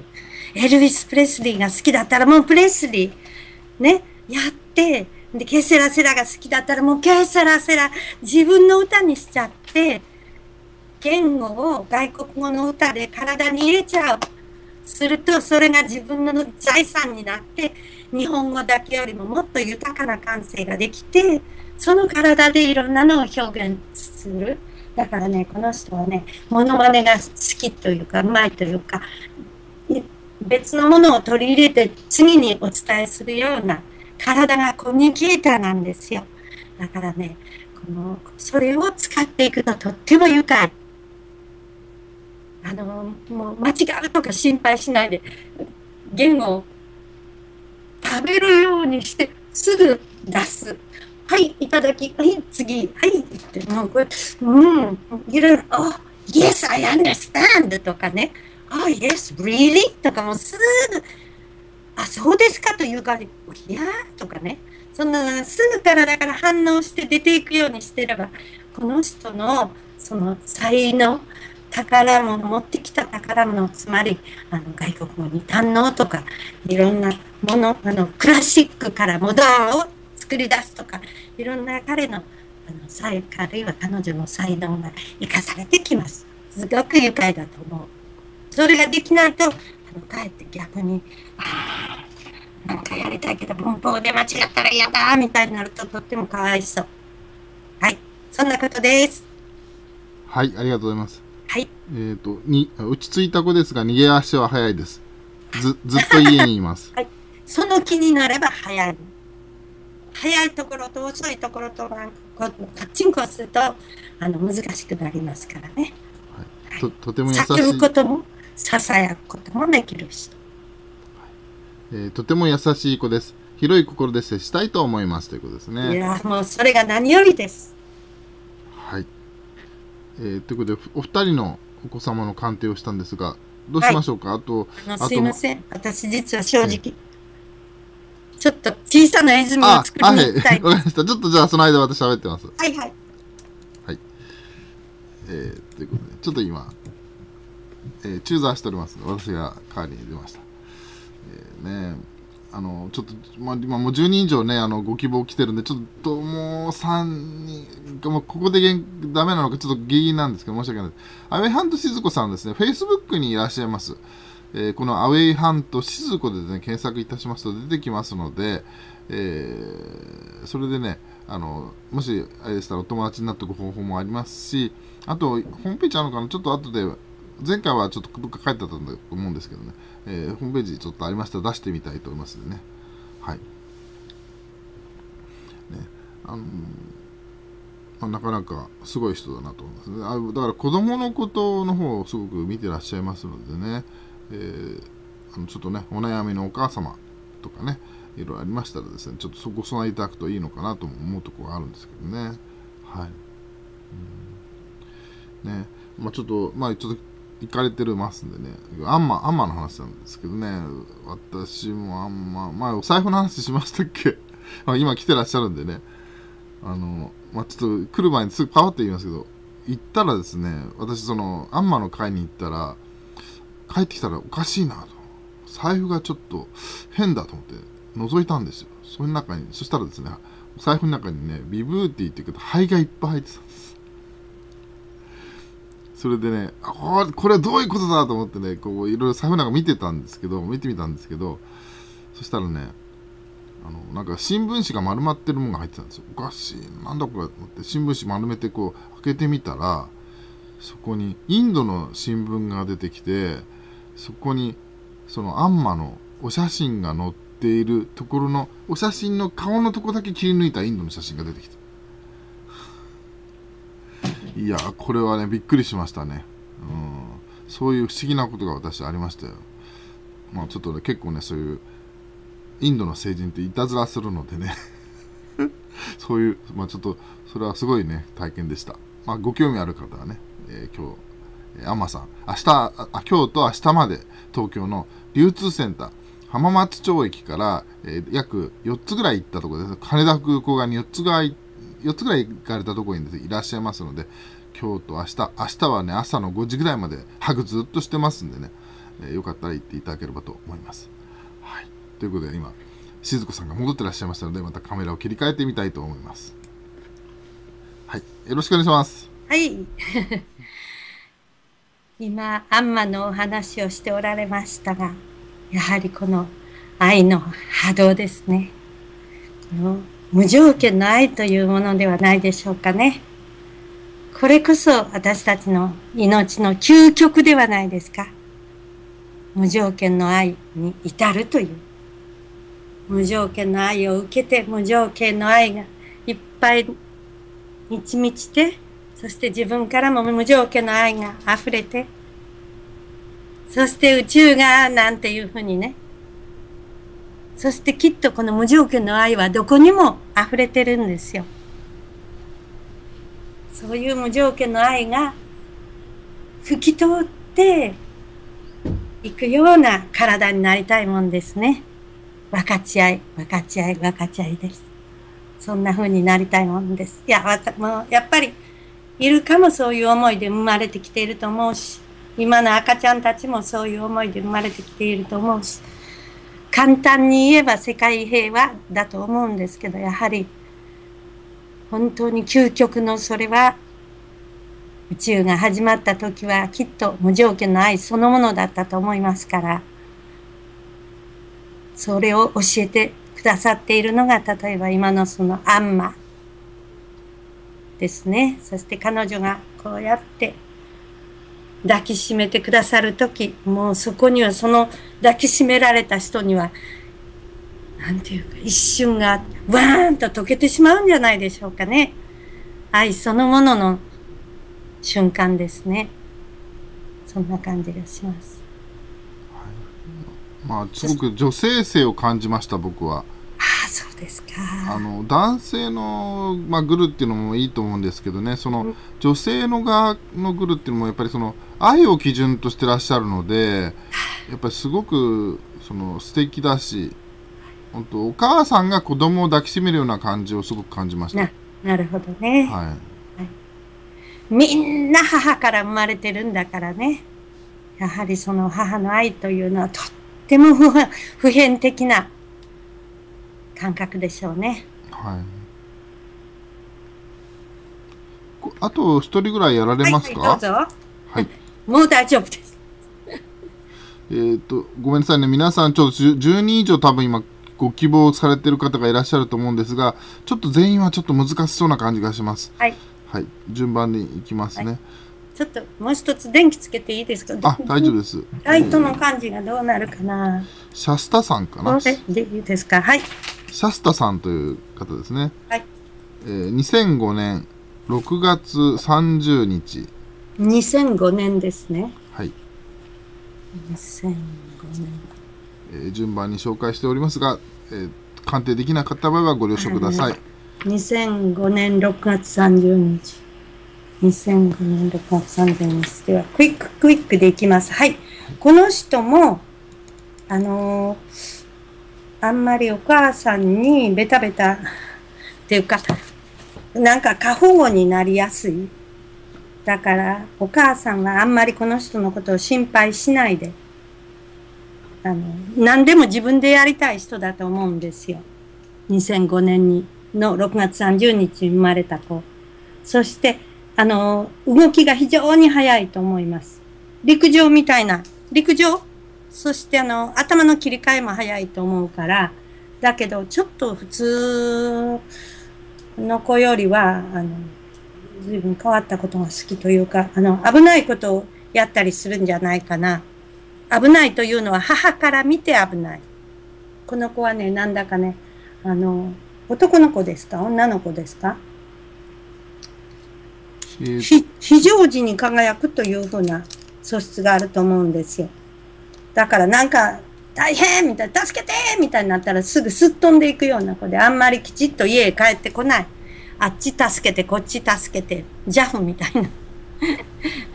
ハイウェイパトロールみたいにいろんなところで人助け、あるいは状況のお手伝い、いろんな、うん、で、あの、野良犬とか、野良猫を連れて帰ったりね、かわいそうだから飼っていいかなとかね。なんだか助けて回る人。だから、あの、平和が続くとかえって退屈するようなところもあるかもしれません。そして動きが非常に速いのと、それから、あの、すっごく速いかと思ったらまたすっごくのんびりするのが好きで、そしてもう両極端みたいなところがあるんですが、それから言葉が割と早いのかな早すぎるぐらいのところもあるかと思いますから、かえって、あの、言葉、ピトッピトッっていうふうになるかもしれない。ともかく何でもスピードが大好きな人。それから、美しいものを求める。あの、心、なんてプライドが高い。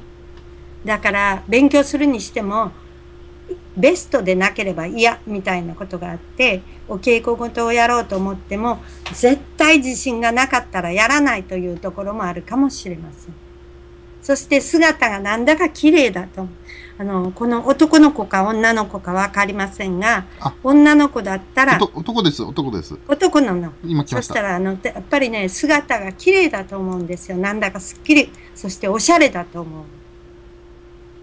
そして、あの、もしも頭をバサバサにしてるのが好きだったら、わざとバサバサにしている。非常に自分のなりふりを気にするようなところがあるかと思います。そして、美、美の追求。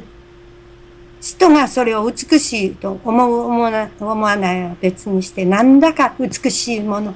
自分もいい格好、ええ格好でありたいし、そして自分が喋る、動くその姿も、なんだかいい格好。そして美しいということを楽しむようなところがある。趣味もどっちかというと贅沢趣味ではないかと思います。はい、どうぞ。お母さんにはあんまり言われる通りに動きたくない。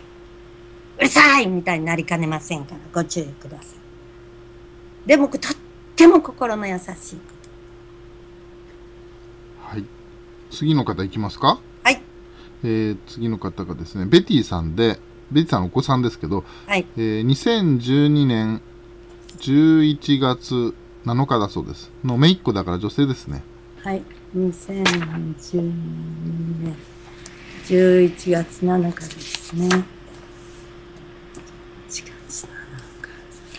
はい、この人は、ああ、あの、さっきのこと似てるんだけど、お家にいるのが好きとか、家族が大好き、家庭の団らんがとても好き、日常生活を大事にするんだけど、犬の天中殺というのを持っている人はとても家庭とか日常生活を大事にする。物質生活を大事にする。美味しいもの、家族団らん。そういう家庭の時間を大事にするところがあるんだけれども、自分の天中殺の月に生まれているから、ちょっとよその星から地球にやってきたような、ちょっと地球人と普通の人と違うところがあるかな、みたいな。なんだかこの子変わってるね、とかね。うん、うんと。価値観が違うっていうふうな特徴があるんですけど、まだ幼いですから、そこまでははっきりしないと思いますが、あの、生まれてくるときに、ひょっとしたら、あの、お母さんにあんまりべったりしてなかったのかな。例えば、おっぱいを飲むときに、あの、簡単に飲んでくれなかったとか、あお母さんにすぐ親しんでこなかったとか、けれどもみんなのことが好きみたいなところがあるかと思いますね。この子、そしてね、やっぱりあの、美味しいものが好きなんだけども、癒し系の子でもあるわけですこの子はおっぱいを飲むときも、匂いを嗅いだりして飲むかもしれない。お母さんの気分がいい時のおっぱいが好きで、お母さんの気分がちょっと優れない時とかなんかちょっと違う時は、あの、おっぱいまずいよみたいに 表現するかもしれない。で、今は幼い間はいろいろちまちまと細かいものを集めたりして、貝殻とかなんだかちっちゃいものをこちょこちょこちょこちょ集めたりするのが好きかもしれませんね。だけどだんだん癒し系になっていく。そして動物をとっても好き。ペットが好きというか、なんだかちっちゃな生き物が好きっていうところがあるんじゃないかな。美しい子だと思います。どうでしょうね。そしてあの、お母さんが、あの、この子はあんまり面倒を見すぎないこと。過保護になりやすいから、できるだけなんでもこの子に決めさせてあげてください。ここの靴かこの靴かどっちの靴が履きたいとかね、お母さんがこっちの靴履きなさいとか、このスカートにしなさいとかやらないで、できるだけなんでもこの子に独立心をサポートしてください。何でも自分でやりたい子。はい。えっ、ー、と、先ほどのお子さんに関して、えー、はい、シャスタさんが、えー、コメントが来てるんですが、野球を見るのが好きですって書いてますね。ああ、どの子供かな？えー、一個前の子ですね。あ、あ、そしたらね、ごめんなさい、あのね、あの、スピード感がある子でしょ？あのね、野球の場合、きっとこの子はね、球が飛ぶところがゆっくり見えるんじゃないかな。すごいスピード感がある子だと思うんですよ。だから、あの野球の好きな子っていうのは往々にしてね、球の飛んでいるところがもうゆっくり見えているような子が多いと思うんですよ。だから、ひょっとするとあんまりじっと座っているのが苦手。その代わりスピードが、もう、もう、もう、速いのが大好きで。だから、あの、切り替えが早いと。そういう、こう、じっと座らせておこうっていうんでなくって、そのスピード感を活かしてあげてください。サポートしてあげてください。そして、きっとあの、言葉も早いと思うし、もしもそうでなかったら早すぎるのかもしれない。できるだけ発音は、歯切れのいい発音ができるようにサポートをしてあげてください。はい。もう一人ぐらい行きますいいですよ。私の方はもう、どんどん行っちゃいますもう落ち着きました。あありがとうございます泉を作ってきましたはいあ、そしたらもう見てる方も大、よ喜んじゃいますね。はい。えー、どこまで行ったっけ？ベティさんが終わったから、こちらですね。シロちゃんさんのお子さんですね。はい。えー、平成14年はい。3月7日、男の子だそうです。はい。平成14年。えー、二来家内さん、これ男の子か女の子が帰ってくでしゃい。平成14年3月7日。はい。この子もね、人の上に立つ。ああ、もう親分ですよ。あ、あの、男の子ですか？女の子ですか？うーんと、それがまあちょっとわからないんですけど、ね。あ、そうですか。あの、いずれにしろね、とってもあの、カリスマチックな、魅力的な子。あ、ごめんなさい、男の子でした。失礼しました。男の子。ああ、はいもうそしたらね、もう今頃は、もう女の子が 付きまとってるんじゃないあのー、とてもね、魅力的な子だと思いますよ。頭は非常に切れると思います。頭が良くってなんだか親分肌で、そして目上に向かっては結構偉そうな口ぶりではないかと。だからもうちょっとね、目上を、目上に敬意を表しなさいとか言っても、だって自分たちみんな平等に生まれてるだろうみたいなところがあって、別に目上を下げすむわけではないんだけど、目上からしたら何というこの生意気なことこと言葉遣いだとか思われるかもしれない。だからこの子にはね、あの、みんなに敬意を持ってお付き合いするように、なんとなくサポートをしてあげられるのは大事かと思います。なん、なん、ともかく、うーん、人を率いていくようなところと、それだけの魅力と頭の良さを持っています。そして、ある意味で、あの、個人、まあ、あの、なんていうか、細かいことにこだわらないというか、とても考えがなくて無邪気なのでなくて、お金を超越したような無邪気さ、無託なところがある。だから非常にあの、伸び伸びしていて、そして親分肌。そして、えー、非常に魅力的ですので、例えば何かの司会者になっても進行係なんかもいいと思うし、それからやっぱり何かのキャプテン、リーダー、うん、チーフ、そしてみんなをまとめて引っ張っていく。それをなんだか楽しく、うん。そしてこの子が間違ってもその自分のカリスマチックな魅力を自分用にエゴ中的に生かすようになっていけばもう大変なわがままな人間になりかねないから。どうにもならな、なんていうかもう嫌な色男になりかねないから。はい。あの、この何とも言えない彼の魅力を生かすように、たくさんの人を気持ちよく引っ張っていいけるように、励ませるように、みんなを励、さっきの、あの、イルカちゃんが望んでいるように、僕は優しいリーダーになる、なんていうのがいいんじゃないでしょうかね。でもこの子はそんなことを人から言われるのは嫌だと思いますよ。きっとそういう気持ちを持っているんじゃないでしょうか。でも親には時々生意気とか言うこと聞かないとか映るかもしれません。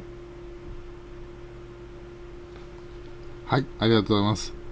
えー、二来かなさん、二人お二人の女の子を鑑定希望してるんですが、まだ他に待ってる方がいますか一人にしますかね。そうですね。はい、ごめんなさい。先のこの方だけさせていただきます。1992年、はい。えー12月2日ということで、92年、12女の子だそうです。92年12月2日。はい。あ、この子はね、あの、上、上品というか少しエレガントな感じの女の子。もう赤ちゃんの時からそうだったと思います。そしてね、あの、少女、幼い時からなんだか気品がある。優雅な感じで、パジャマよりネグリジェの方がいいわーっていうような感じ。洋服もなんだかおね、お、お姫様の洋服みたいなのが好きだったかと思うんですよ。そして、よくあの、看護婦さんごっこなんかやってたかもしれない。癒し系のところがありますね。しかし我が道を行く。そして、いろんなことを私に任しといてちょうだいみたいに段取りをするのが大好き。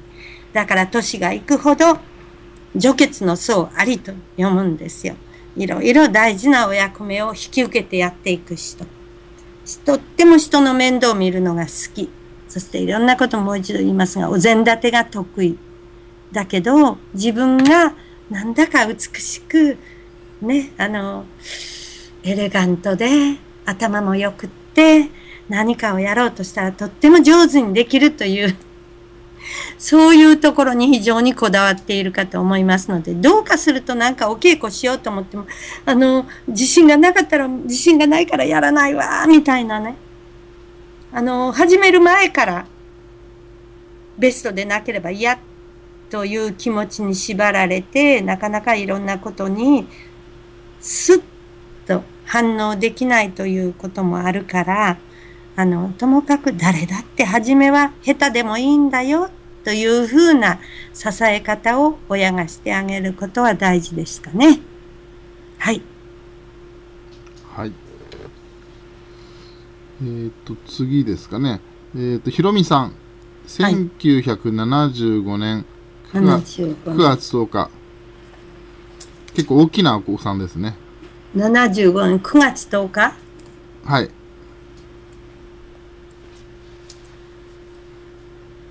この人は親が聞いてられるんですね。あ、そうですね。はい。あのね、この子は もう、あの、小さい時から、すっごいでっかい夢を持っていて、あの、地上に天国を作るとかね、親がもうそんな馬鹿げたことを言いなさんなと人に笑われるよみたいなところがあったかと思うんです。そして、親から、ああだこうだ言われるのが大嫌い。自分が決めます私の人生は私が決めますね。これ好き、これ嫌い。これ好き、これ嫌い。好き嫌いがとってもはっきりしていて、そして、とんでもない夢を持っている、ものすごい理想を持って生まれているという感じ。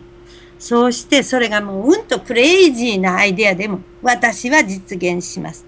私がやらなかったら誰がやるのさみたいな。はい。大きい夢を抱えていて、年が行くほど強くなっていくし、そしてあの頭もいいし、姿もとても綺麗な人だと思います。なんかね、あのミュージカルにヒロインをやるような人。そんな感じがしますね。そしてあの、年がいってもとっても朗らかで、まだそんな年じゃないんだけど、40になって、60になって、やがて80になって、車椅子に座るようになってもなんだかね、皆の者を笑わに続け、みたいにね、うん、あの、夢を追っかけて、たくさんの人を率いて、ほがらかに率いていくようなところがあるかと思います。でも、親からああだこうだ言われるのは割とコツンと来やすい人。だから、親は見守ってあげてください。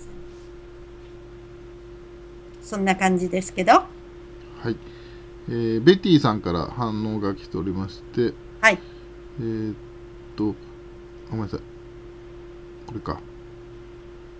えー赤まだ赤ちゃんなので詳しいことは分かりませんが、本当にこの親から生まれてきてきたのかと思うほどとても美しい赤ちゃんです。あこの子のママに教えてもらったことを伝えます。ありがとうございました。あ、そっかそっか。親戚の子ですそ。の私は今その生年月日見てないから何とも言えないんだけど、の、そんな風に言ったんですか？私が綺麗、美しいとあ、かなんとか美しいって。言いましたね。はい。あのね、あ、あの、ズボンよりスカートが好きな子とか。なんかね、あの、うんお姫様のようなところがあるかと思うし、そういう子は、あの、美を、美意識がとっても強いんですよ。うんだから、あの、汚いこととか、俗っぽいこととか、うん、そういう趣味の悪いのとか、すっごく嫌がるところがある。その星だったかな？鬼人の星があったのかな？生年月日を見ないと私はもう覚え、覚えないことにしてますからね。言えばもうすすぐすスパッと忘れますから。あの、なんだったらこの次から、その、こお母さんからフィードバックが来ているときは、生年月日をもう一度一言言ってもらいましょうね。そしたらそれを見ながらコメントにコメントができます。はい。えーと、次誰かな。うーんと。よ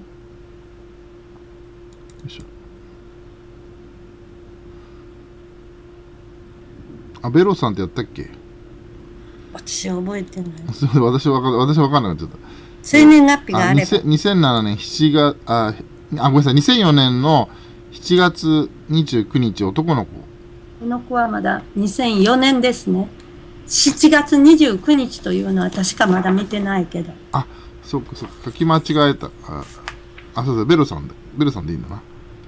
はい。これ大丈夫です。7月29日、男の子です。2004年の7月29日、はい。サルトリの天中さんあこの人も、あの、とっても気の優しい、心の優しい。で、あの、動物の世話とか大好きだと思うんだけど、あお母さんの言うことを聞くのが嫌。ではないかなと思うんです。うんで、あの、まあ、もしもお母さんのことを言う、言うことを聞くなら、もう依存症ぐらいにベタベタになるかもしれないから、この子は本当はとっても独立心の強い子だから、その独立心を尊重して、何でも自分で決めてごらんと。そういうふうに親がサポートしてあげることは非常に大事だと思います。あの、動物、動物がきっと死体寄ってくる。蝶々とか、小川に入れば魚が足のそばに寄ってきたり、うん。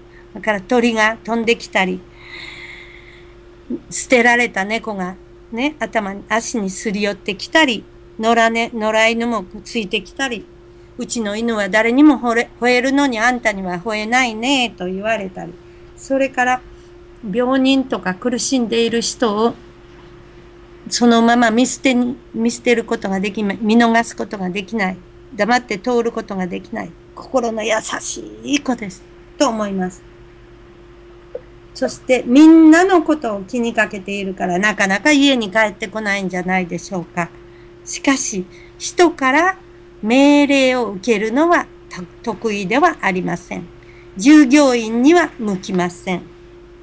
あの、環境の環境局長みたいなのが 合うかもしれないし、お医者さんもすっごく合うと思います。それから人の人生相談をやるのも好きだと思いますね。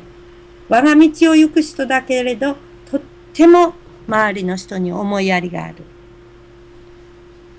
環境も含めて。はい。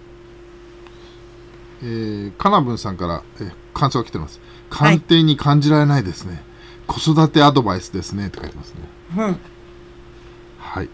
ど、どういう、その、フィードバックですか？それは。まあ、感想ですね。今、今の？えー、まあ、ぜ全体的にだと思うんですけど、うんえー鑑定に感じられません。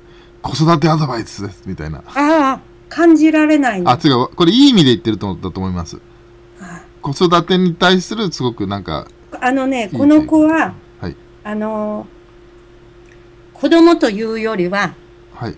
親と平等のように話して喋るときにもね、はい。大人と喋るようにして、喋られるのがいいかと思いますし、できるだけこの子がいろんなことを決断するようにはい。向けてあげるのがいいと思います。答えははいこの子から何でも出させるように。はい。あの、人を率いていきたいというところと、そしてあの、この家族の中で、の肉親だけに、肉親を優先させないというか、親だから親の言うことを聞きます。兄弟だからまず兄弟を大事にしますという風なのでなくって、なんか地球を救いに来ましたみたいなところがあるんですよ。とても心の広いヒーラーのような人。はい。だから、あの、ヒーリングでなくて、例えば、あの、郵便屋さんでも、それこそみんなに励ましを配って回るような郵郵便屋さん。お宅なんか困ってるんですか？あ、じゃあちょっと言ってください。どういうことで困ってるのって。みんなにね、まるで自分の責任であるかのようにみんなの幸せを、まるで村村長さんのように、まるで校長先生のように、まるで、うん、総理大臣というかな、だ、誰かの親分であるように、助け、助け、優しく、救い、癒し、助けていく人ではないかなと。そして肉親にこだわらない。肉親だからといって優先させないから、どうかすると家庭の中では、一体いつになったら家へ帰ってくるのとか、私たちの家族のことを何と思ってるのっていうふうな状況になるかもしれません。はい。ありがとうございます。はい。えっ、と、次の方、コバさんのお子さんだと思うんですが、うんえ1995年8月25日、男の子だということですね。5年の8月20。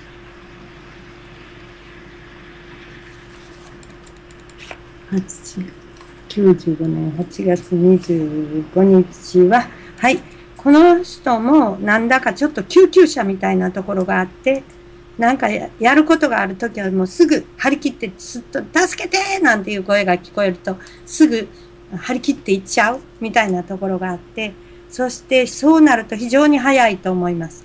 あの、モノマネというか、この子も、あの、パーッとね、なんかやるのが好きというか、得意というか、うんと、外国語に堪能というのもあるんだけど、別に外国語だけでもないんですよ。なんか、コミュニケーションが早い。そして、えー、動きも早いから、陸上的なところもあるかな。陸上はきっとね、あの、動きは早いと思うんです。でも、のんびりするのも大好き。だから、この、のんびりするのと、タタタタと速いのとが、同時に活動すると、あの、早く、あの、本当は、本当はのんびりしていたいんだけど、こんなことしてられないよっていうのと、本当はもう忙しい真っ最中に、ああ、ゆっくりしたいなというのが、ね、反対同士の特徴が同時に発動すると空回りしかねないから、なんかやるときはささっと片付けて、ゆっくりフリータイムを楽しむと。で、ゆっくりしたときにもう、もう存分、ああ、生きてるって素晴らしいなぁなんて楽しんでおいて、そして活力を貯めて、やるぞっていうふうにね、この、両極端を次、次に代わり番号に適材適所で使っていくと実に満足のスピード感があると思います。うんそれを間違って同時に、本当はあの、早いのとゆっくりさんを同時に使うと空回りしかねません。そして、あの、とっても困った時に、ビシッといいアイデアが浮かぶような人、そして非常時にひらめく、非常時に輝く、非常時に出番ですというところがあるから、実はすっごい sense of humor、ユーモアが、すっごく面白いユーモアがこの人の中にはあると思います。おどけさんが隠れている。お茶目さんが隠れている。それがもう本当に大変困った時、うふふって助けてくれるような潤滑油な働きをするんじゃないかと思いますね。たぎたげた趣味。日替わりメニューのような人から見たら、もうあの人当てにならないね。しょっちゅう変わってるんだからというふうに見えるかもしれません。それで OK です。適材適所でいきましょう。柔軟に。はい。えー反応とかいっぱい来てるんですけど、ちょっと先にもう一人言っちゃいますかね。はいはいはい1982年82年。11月14日です。あ、性別がまだわかんないな。はいだと1982年11月の14日でございます。はい。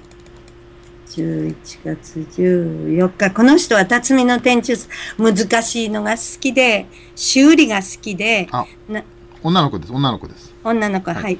去年、今年が天中札でこ、ことに4月、5月ですから、今いろいろとね、あの、財布をなくしたとか、ね。で、あの、自転車を置いてたら盗まれちゃったとか、なんか不都合なことが起こりかねないんだけど、でもね、この子はね、困った時にこそ、チャレンジ精神がガーッと持ち上がるから、あの、暗がりで輝くっていう風な人だからね、いろいろ困った時にこそ、それでまた学ぶ人だというところがあるかと思うんですよ。だから、あんまり何も起こらないと、すべてがうまくいっている時に、えーっと、誰かと、もうだいぶ前にこの間喧嘩したよな。あなたあの時なんて言ったのさ？なんて古い問題を掘り出しかねない。だからこの子がのびのびと、はい、この問題は解決しました。はい、こっちのお道具は修理終わりましたよっていうふうにさらっと手放せるように、ありがとう、一回の終わりっていうふうにしていくように、親が導いてあげられるのは大事かなと思います。とっても楽天的な、ほがらかな、ああの、子供、子供時代、そして若者時代、それから年がいくほど、えー二十歳ぐらいになると今度は旅行が好きになるんだろうか。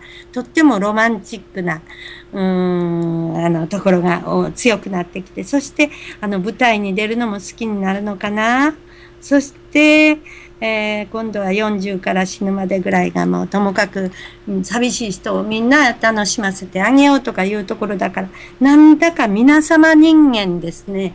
自分の家族だけというよりは、みんなのために、みんなを励ましたり、楽しくさせたり、慰めたり、みんなに笑いを運んでいったりみたいな、そういうところじゃないんでしょうかね。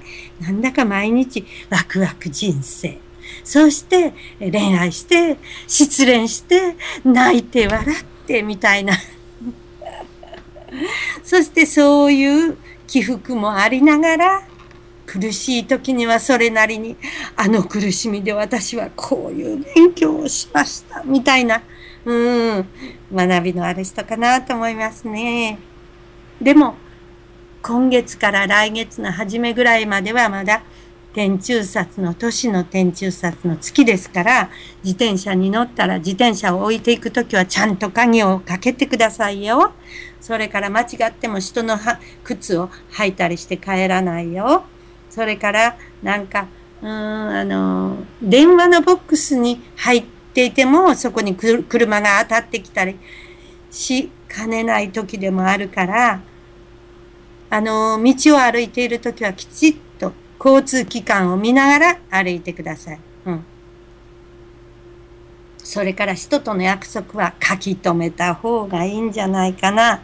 忘れかねないですね、今は。なぜなら、今はちょっと天中札というのは言うならば冬休みのような時期ですから、いろんなことを自分の心の中のことをいろいろ考えたり、くだくだ考えたり、反省したり、いろいろするときで、またその、そういう、どっちかというと、うーん、暗い思いになる時もあるんですが、またそういう時にこそ輝くという素質をあなたは持っているから、いろいろ、いろいろくる、いろんなことを考えながら、そうだ、それでこそ、そうだ、これなんだ、これなんだよねってチャレンジから磨かれ磨かれて、大事な光があなたの中で強くなっていく時でもあります。だからなんか忘れ、友達との約束忘れたとかいう時に、すぐそれでしまったって落ち込まないで、ごめんねとまず謝って、これにはなんかきっと自分に教えてくれることがあるんだなと。うん。いろんな大失敗とか、ちょっと都合の悪いことにはきっとあなたには何かそこに宝物が隠されていますから。うん、チャレンジ精神の強い人だから、あこれが壊れたら自分で修理してみよう。きっと前よりもっといいものになるんじゃないかなってね。うん、あなたは苦い薬が好きな人。だからそういうのをじゃーっと自分のものにしていってください。そういう人ですね。だけどみんなを楽しませ、みんなをワクワクするものを配って回る人でもあります。パートナーと美味しいものを食べに行くのなんか大好きみたいね。はい。ありがとうございます。結構よやったかな。あと一人ぐらいかな。感想もいっぱい来てるんですけど、ちょっと感想先に行きますかね。どうぞ。えーっと、ベロさんの鑑定なんですけど、2月に、7月29日男の子で鑑定していただき7月29日何年の？ああ、えー、これちょっと下の方で、どこ行っちゃったな。ベロさん、あ、鑑定していただきましてありがとうございましたっていうことだったんですけど、2004年の7月29日ですね。で、はい男の子で鑑定していただきましてありがとうございましたということなんですが、えーっと、自閉症で生まれましたが、心が優しくて動物と仲良くできる子ということでお話しいただきまして、嬉しく思いました。感謝しますということですね。この子はね、本当にヒーラーのようなところがあると思うんです。だから、その自閉症というのを、まあ、選んで生まれてきている。だからね、きっとね、この子のいろんな動作を見ているととっても含みがあると思うんです。愛を教えている。癒しを教えている。そしてこの子はね、歌を聴くのが大好き。実は心で歌っています。だから、あの、親がちょっと触れる時も、ありがとうね。生まれてきてくれたのねっていう気持ち。それと、この子は実は全部わかっているんだと。それを決して疑わないでくださいと私はお願いしたいですね。はい。ただ、親だけの子供ではないということ。あ親のおかお腹を借りて、ちょっとお借りして、あここを、あの、踏み、踏み台にして、ここからいろんな人を救いに行きますよ、みたいな。ここからいろんな人を治療、癒しに行きますよ、みたいな。うん。あの、人だけではなく、あの、しおれた花にも優しい子だと思います。はい。癒し系です。だから歌をいろいろ歌ってあげてください。そして、イルカの写真なんかも見せてあ、あ、イルカの T シャツなんかすっごく合いそう。えー、しろちゃんさんですかね。はい、えー平成14年の3月7日の男の子で見ていただきました。ありがとうございます。えー私の想像を超えた行動を良くするので、いつもヒヤヒヤしています。行き過ぎには注意しながらも、本人の明るいところを伸ばせるようにサポートしていきたいですということですね。どうもありがとうございますということですね。よろしく。そうなんですよ。サポートなんですよ。教えるんじゃないんですよ。はい。えっ、と、あと、稲井かなさん。先ほどの1992年12月2日の女の子の感想です。弱い人を助けようとします。おっしゃる通り癒し系です。えー段取りをするのはむしろ親の方が好きかな。えー 興味の、興味のあることでもすぐに飽きてしまうので、コツコツ何かを築き上げていくのが苦手ですね。ありがとうございます。ということですね。あの、子供が秋っぽいと見えたときは、ただ嫌になったんでなくて、次々にアイデアが浮かんでいると見てあげるのはどうでしょうか？なるほどね。えっと、もう一度、ごめんなさい、92年でしたっけ？はい。12月に2日の女の子の。2日ですね。はい。この子はやっぱりね、あ、もう本当に次々にアイデアが浮かんでもおかしくないです。ややがて人を引き、率いていく。そしてやっぱりとても優しい癒し系の子で、頭は非常にいいです。頭が良くって、好みがいいから何かなかなかやり出さないのは、失敗するのを恐れている。だから、親がお膳立てしてあげるっていうのは、あの、親は大丈夫でよというメンタルなお膳立てをしてあげるのはどうでしょうか。励ますというお膳立て。この子はね、下手なのが嫌。失敗するのが嫌。間違うのが嫌。みたいな、あの、恐れが、恐怖心が生まれると、その恐怖心がすごく強くなって、がんじがらめになりかねないんですよ。そういう非常にプライドが高いんです。プライドの高い人にはそういう弱みがありますね。そうなりかねないから。うん。だからね、あの、まずやってみたら、こっちこうしといたら大丈夫よ。やってみたら、そしてだんだんやっているうちに上手になっていくよとかね。そうやって親が励ましてあげることはいいと思いますよ。はい。美しい子だと思うし、文化系じゃないでしょうかね。はい。あと2人ぐらいですかね。はい。いきますかね。ロンロンさんで、1971年12月16日、女の子です。72年？71年ですね。1年の12月12月16日で、16日、サルトリの点。お、この男の子、女の子。女の子です。女の子。この子もね、あの、とても無邪気なようなところがあって、そして非常に魅力的な子。だからなかなか一人のボーイフレンドでは収まらないというか、あの、いろいろ、まあ男の子にも女の子にも追っかけられるような、とてもあの、魅力的な人で、しかし自分はでっかいあの理想を持って生まれている。でっかい夢を持って生まれている。そしてこれがとっても突拍子もない夢かもしれない。やっぱりあの外国とのコミュニケーションをすごく大事にするんじゃないでしょうか。この子はあの海外と日本をもうもう自分の家のように行ったり来たりするような人生でありたいんじゃないでしょうか。だから外国語は絶対大事だと思いますが、しかも簡単に日本語の方言ぐらいな感じで外国語が体に入っていくんじゃないかと思います。もしもまだやってなかったら、体で覚えるように、歌で覚えるように、ダンスで覚えるようにしたらすぐ使える。ただし、この人が外国語を勉強すると体であの入りやすいから、その場合大事なのは発音を、本物の発音を身につけるということ。それでないと面白くない。外国行って通じない外国語だったら、もういらないっていう体質です。本当に本物の外国語が言葉数が少なくても自分の体に入ることでそれが生かされる。すると自分の人生を生きる感覚がこの人にピッピッピッとアンテナが増えていくようなもんだから、うん、この人もなんかミュージカルとかなんか舞台人間になるんだろうか。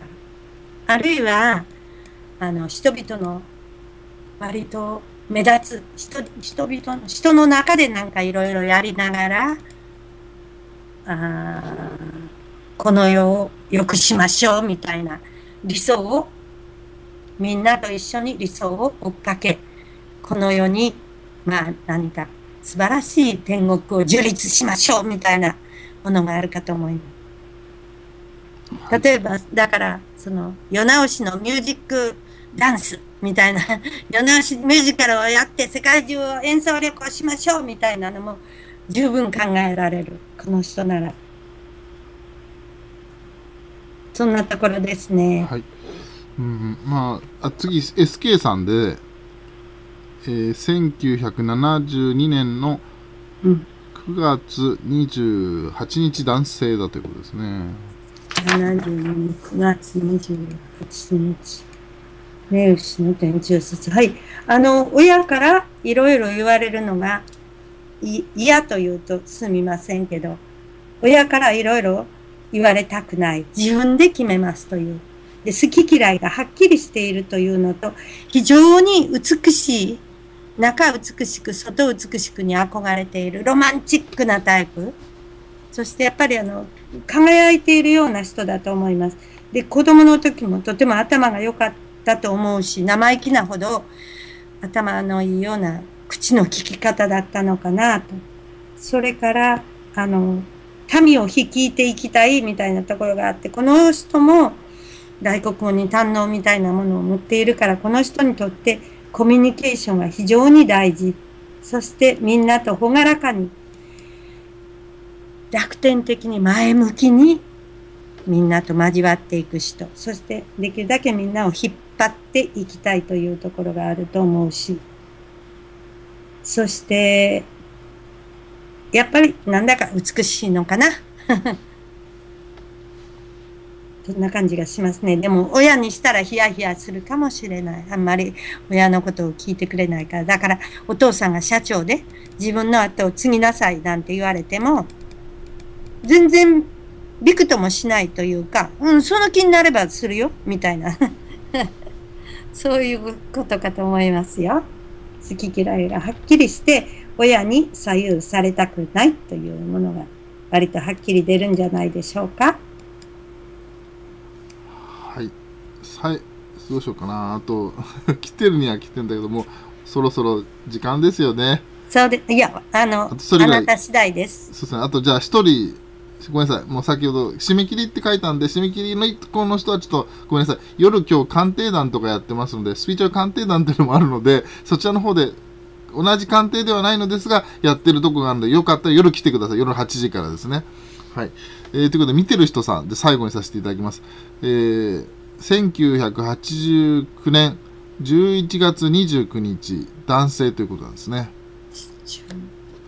9年の11月29日。いまだに捉えどころがありませんという感想が今いまだに何？捉えどころがない子です。あのね、うん。ああ、今年はとても強い年。この人にとって。そしてあの、割とご先祖から守られているようなところがあるから、誰かおじいちゃんおばあちゃん、あるいはひいじいちゃんひいばあちゃんからとっても可愛がられたか、何かそういう方から、うーんとお守りが来てるようなところがあるかと思うんですけど、この子はね、あの、日替わりメニューというか、もうくるっくると アジサイのように色が変わるというのか、アイデアがいっぱい浮かぶと思うんですよ。お芝居なんか非常に向いてると思いますね。そして、救急車のようなところがあるから、あんまり家にはいないと思う。誰かが困っていたらすぐすっ飛んでいって、そこで必要とされていることをバババババーっとやっちゃって、最後に冗談の一つも残していなくなる。で、次のきゅ次のところへパーッと行っちゃう。はい、来ました。お待たせしました。そこでババババーってやって、次みたいに、どしどし場所を変えて、救急サービスをやって、救急救命サービスだからやって、ああ、今日も面白かったな。みんなひどいことやってたけど、うん、まあまあ、あれでなんとかなるだろう。なんて言って、遅かったり早かったりして帰ってくる。そして、親から見ていたら、この子は何がやりたいんだろう。精神集中もなかなか苦手だね、と。部屋を見たら、うんと片付いてる時もあるけど、めっちゃくちゃ散らかってる時もある。どんなに片付いて、あの、片付いてても、一瞬にして散ら散らかるんだよな、みたいなんだけど、その子にしたら、ここを誰も触らないでね、触られると後でわからなくなっちゃうんだよ。いろんなことが同時進行してるからね、というところかなと思いますよ。どうでしょうか？はい、ありがとうございます。うん。チーロンさん。ああ、T さん、毎日素晴らしい放送ありがとうございます。大好き、ハグハグ。ありがとうございます。こちらこそ。えー、コバさん、宇宙の動きのタイミングで性格、個性がある程度決まるのですね。不思議ですね。ということですね。はい。えっ、ー、と、コバさん、間違えちゃった。8月25日だったって。まあ、しょうがないね、これはね。もうちょっと。あの、間違いもね、はい、もう私、今まで何十年、欧米であちこちでやってきて、その間違いのたんびにね、え、ちょっと待って。すぐ正しいのもやるけど、この間違いでどんなことが分かったの？っていうと、大抵なんか間違いの中で、この間違いのおかげでこれが分かったっていうのがあるんですよ。だから私、グリコのおまけって言ってるんです。間違いでさえ正しく与えられているというと、何を恐れたらいいんだろう。本当は全て意味があって起こってるんだねっていうような感じ。それと皆さんにお願いしたいのは、今までこんな説明何にもなくね、過ごしてこられた。だからこれからもこれを頼る必要は全然ありませんよ。つまりあなたの中に全てはあって答えも自分の中にある。本当は自分が分かっている。だからあなたのままを受け入れましょう。あなたのままよかったと思ってください。そして、そこから発すると、他の人も、おお、あなたのままでいいんだ。あなたのままでよかったっていう風にね、なっていけば、そこからこういうアドバイスもできる。ああいうアドバイスもできる。間違いというのがよくそれを教えてくれるんじゃないでしょうか。実は大抵皆さんの私のこのリーディングに対する反応が、ああ、やっぱりって言われるんです。えー、やっぱり？って。私これ聞くとき本当に嬉しいんです。じゃあ本当はみんな分かってるのね。うん、だから持って生まれた宝は使いましょう。抑え込んでたらもったいないよっていうこと。そして足りないものはだからみんなから教えられ学学ばせてもらいましょうということ。でもせっかく持っている宝物は使いましょう。そして何だったらみんなと分け分けしましょうね。そしたら楽しいじゃないですか。はい。はい。あ、あと、この、静子さんに連絡を取って、この鑑定とかしてもらいたいって方はどうしたらいいですかね？あの、その2、3分でしたら、あの、今みたいに無料サービスでやらせていただきますから、どうぞ、電話で。なるほど。はい。これ、Facebook とかでいいんですかね？私、Facebook が苦手で、まあ、Facebook で試してみてください。でも、お返事を書くんでしょ？私、書く返事ダメ。だから、電話の方がいいです。はい、電話番号 いいんですか、電話言って。携帯でどうぞ。はい。090の。はい。2509 2134はいこちらです。ただしこれだと私がカレンダーを持っていないとどうにもなりませんから自宅の方の電話も言います。はい。098の832の9030はい沖縄になります。沖縄です。そして、2、3分のでしたらもう無料サービス。私は人間観光というのが大好きだから、こうやってね、誰かに、ちょっと、あの、私のいただいたこの宝物をお分けできたらとっても嬉しいです。それで、聞いた人が、あ、じゃあこれでいいんだと元気よく進んでいかれたらいいし、そして事情で、本当は家の中にいろいろ難しいことがあるんだけどっていう場合は、あの、ちゃんと鑑定っていうのを、あの、ファミリーチャートという、私たちあの、ヨーロッパでこういうことを研究、ヨーロッパの研究会で開発したわけですよ。おじいちゃん、おばあちゃん。それからお父さん、お母さん。自分。で、自分の子供とか見るんだけど、もしも結婚している人だったら、それの配偶者の分も全部。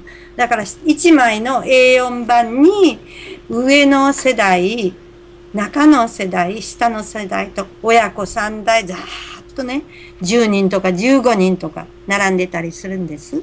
一人でも十分の時もあるし、そしてどうしてももうとっても難しい家庭内の事情だから、全体で見てみたいと思われる方は、これも、あの、私に電話してくださったら、その時話し合って、では、あの、お金をいただいて、見させていただきましょうと。そしてそちら側で録音してくださいと。録音でも録画でもしてくださいと。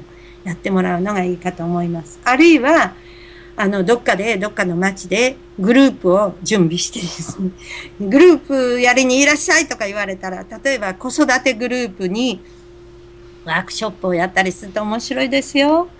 うん、おお母さんが赤ちゃんを連れてきたりしていて、ざーっとね、10組とか8組とか並ん座っていらっしゃるでしょ？赤ちゃんたちに生年月日を説明していくと、その順番に赤ちゃんの顔が大人になるから面白い。そういうのもあってですね、ワークショップというのも今まで世界のあちこちで随分やってきました。ロシアまでも行きました。はい。なかなかワークショップもお互いから勉強するので面白いですね。そして難しい問題の場合は、か自分の生まれた環境を知って自分を知ると。そういう見方のためにも自分が難しいところにある時も家族を見てファミリーチャートから自分のこれからを読むというのもとっても参考になるのを私は私自身が通ってきたから知っています。はい私自身が随分これで救われたから友達ともやり合うようになりました。うんこんなところでしょうかね。はい。はい。あ、ありがとうございます。でもあの、短いのは、2、3分のは、喜んでカレンダーさえ手元にあればパパッとやりますし、それこそ、それは、あの、その方に対するグリコのおまけ。だから、喜んで、私の人間観光の喜びです。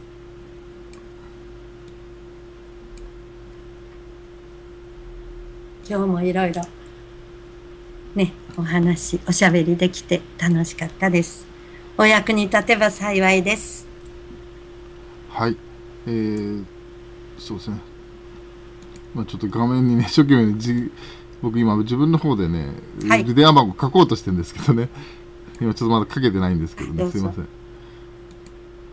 いいでしょ。あ あ、失敗しちゃった。あ、直った。えっ、とね、ぜえー、と098、あ、すみません。私の自宅の電話番号ですか？はい。?098 のゼロ832の9030。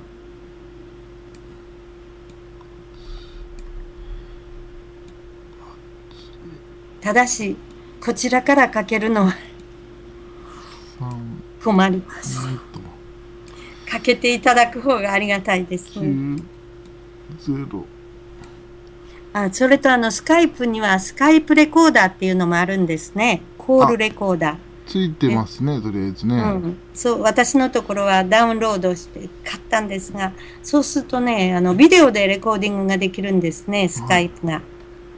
だから、あの、こういうののカウンセリングも、それでレコードされる人もあります。はい。ちょっと私の画面出します。ちょっとすいませんね。はい。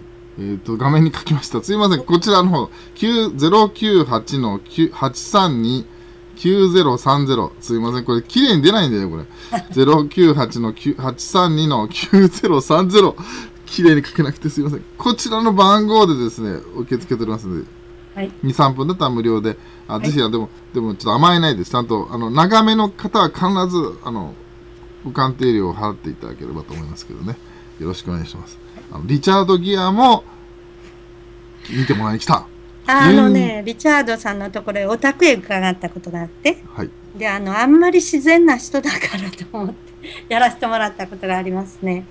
笑いましたよ、お互いに。はい。あと、ユングさんの息子さんとも親交があったと。あ息子さんには自分の家族のファミリーチャートを作ってくれと言われて、はい。のユングさん、ドクターユングと、その奥様、ユング夫人のも見せてもらったことがあります。そして、はいその、それが息子さんのユングさんにはとても役立ったということを聞いて私は嬉しかったです。その場にいてね。うーん。うんはい。ぜ建築家だけど実は心理学者で建築家なんだというふうな。はあ。あ、だから、みたいなね。うーん。これね、今、いまあ、お子さんのやついっぱいやりましたけど、ご自分のやってみるのもいいと思いますよね。もちろんそうですね。うん、ぜひ。それと、両方、ははははは。うんあるいは親子3人とかね。うん。はい。だからいろいろ見方はありますが、大事なことは依存しないということ。自分を信じてください。あ、さすがですね。はい。なるほどね。あ、ちょっと。これ、私ちょっと消しとかなくちゃ。消しとこう。はい。ありがとうございます。私には、私自身がとっても自分が見えなくなっていたとき、非常にこれが水先案内をしてくれました。道しるべになりました。はい。私も救急車みたいなところがありますので。ありがとうございます。すごくいろいろ参考になりましたね、今日はね。そうですか。はい。はい。もう、ね、イルカの話、大教の話、大教というか、子供の話ね。あと、この鑑定の高校から見る子供のやっぱ個性だとか、そうですね。いろいろうんこう、ありがとうございます。はい。こそ。えーということで、えー今日ね、長い時間、もう、実は10時17分だから、もしかしてさ、もうちょっとだと3時間になっちゃったんですけど、す すいません、なんか、すごく、いやいやまあ大変だったと思もううんです人間観光大好きですから。ありがとうございます。んはい。えーということでね、えーま、また機会がありましたら来ていただきたいと思います。沖縄に大事なことはね、みんながこうやって、みんながこうやってた助け合って分かち合って弥勒の世、世界平和を作るということ。そして、それを発信するのはやっぱり自分の中からですよ。みんなが、もう今すぐから参加できるんだっていうこと。自分の手の中から、自分の心の中から、世界平和に貢献しましょうみたいな。だから、はいたとえ嫌な体験でも分かち合えばみんなの栄養分になるということ。うんこれを私はこの先生術で覚えました。うん悪い体験が違って見えてくるんです。そして悪い体験がそこから栄養分になって学びが得られるといい思い出になるんですよ。うんだから人生何にも怖がることはない。そんな感じです。みんな、喜びを分かち合いましょう。楽しませていただいてありがとう。こちらこそありがとうございます。毎日ワクワクしてます。そしたら、な、何の音楽で。あ、ありがとうございます。そしたら、はい、え、どうもありがとうございます。じゃあ、こちらで、えー終了させていただきます。どうもありがとうございました。どうも。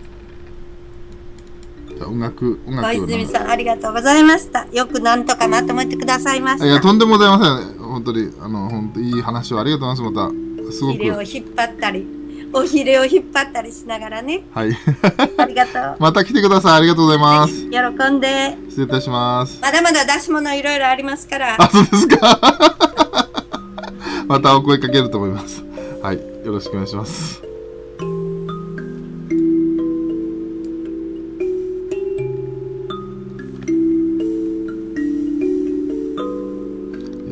2分ほどちょっと音楽を流して終了いたします。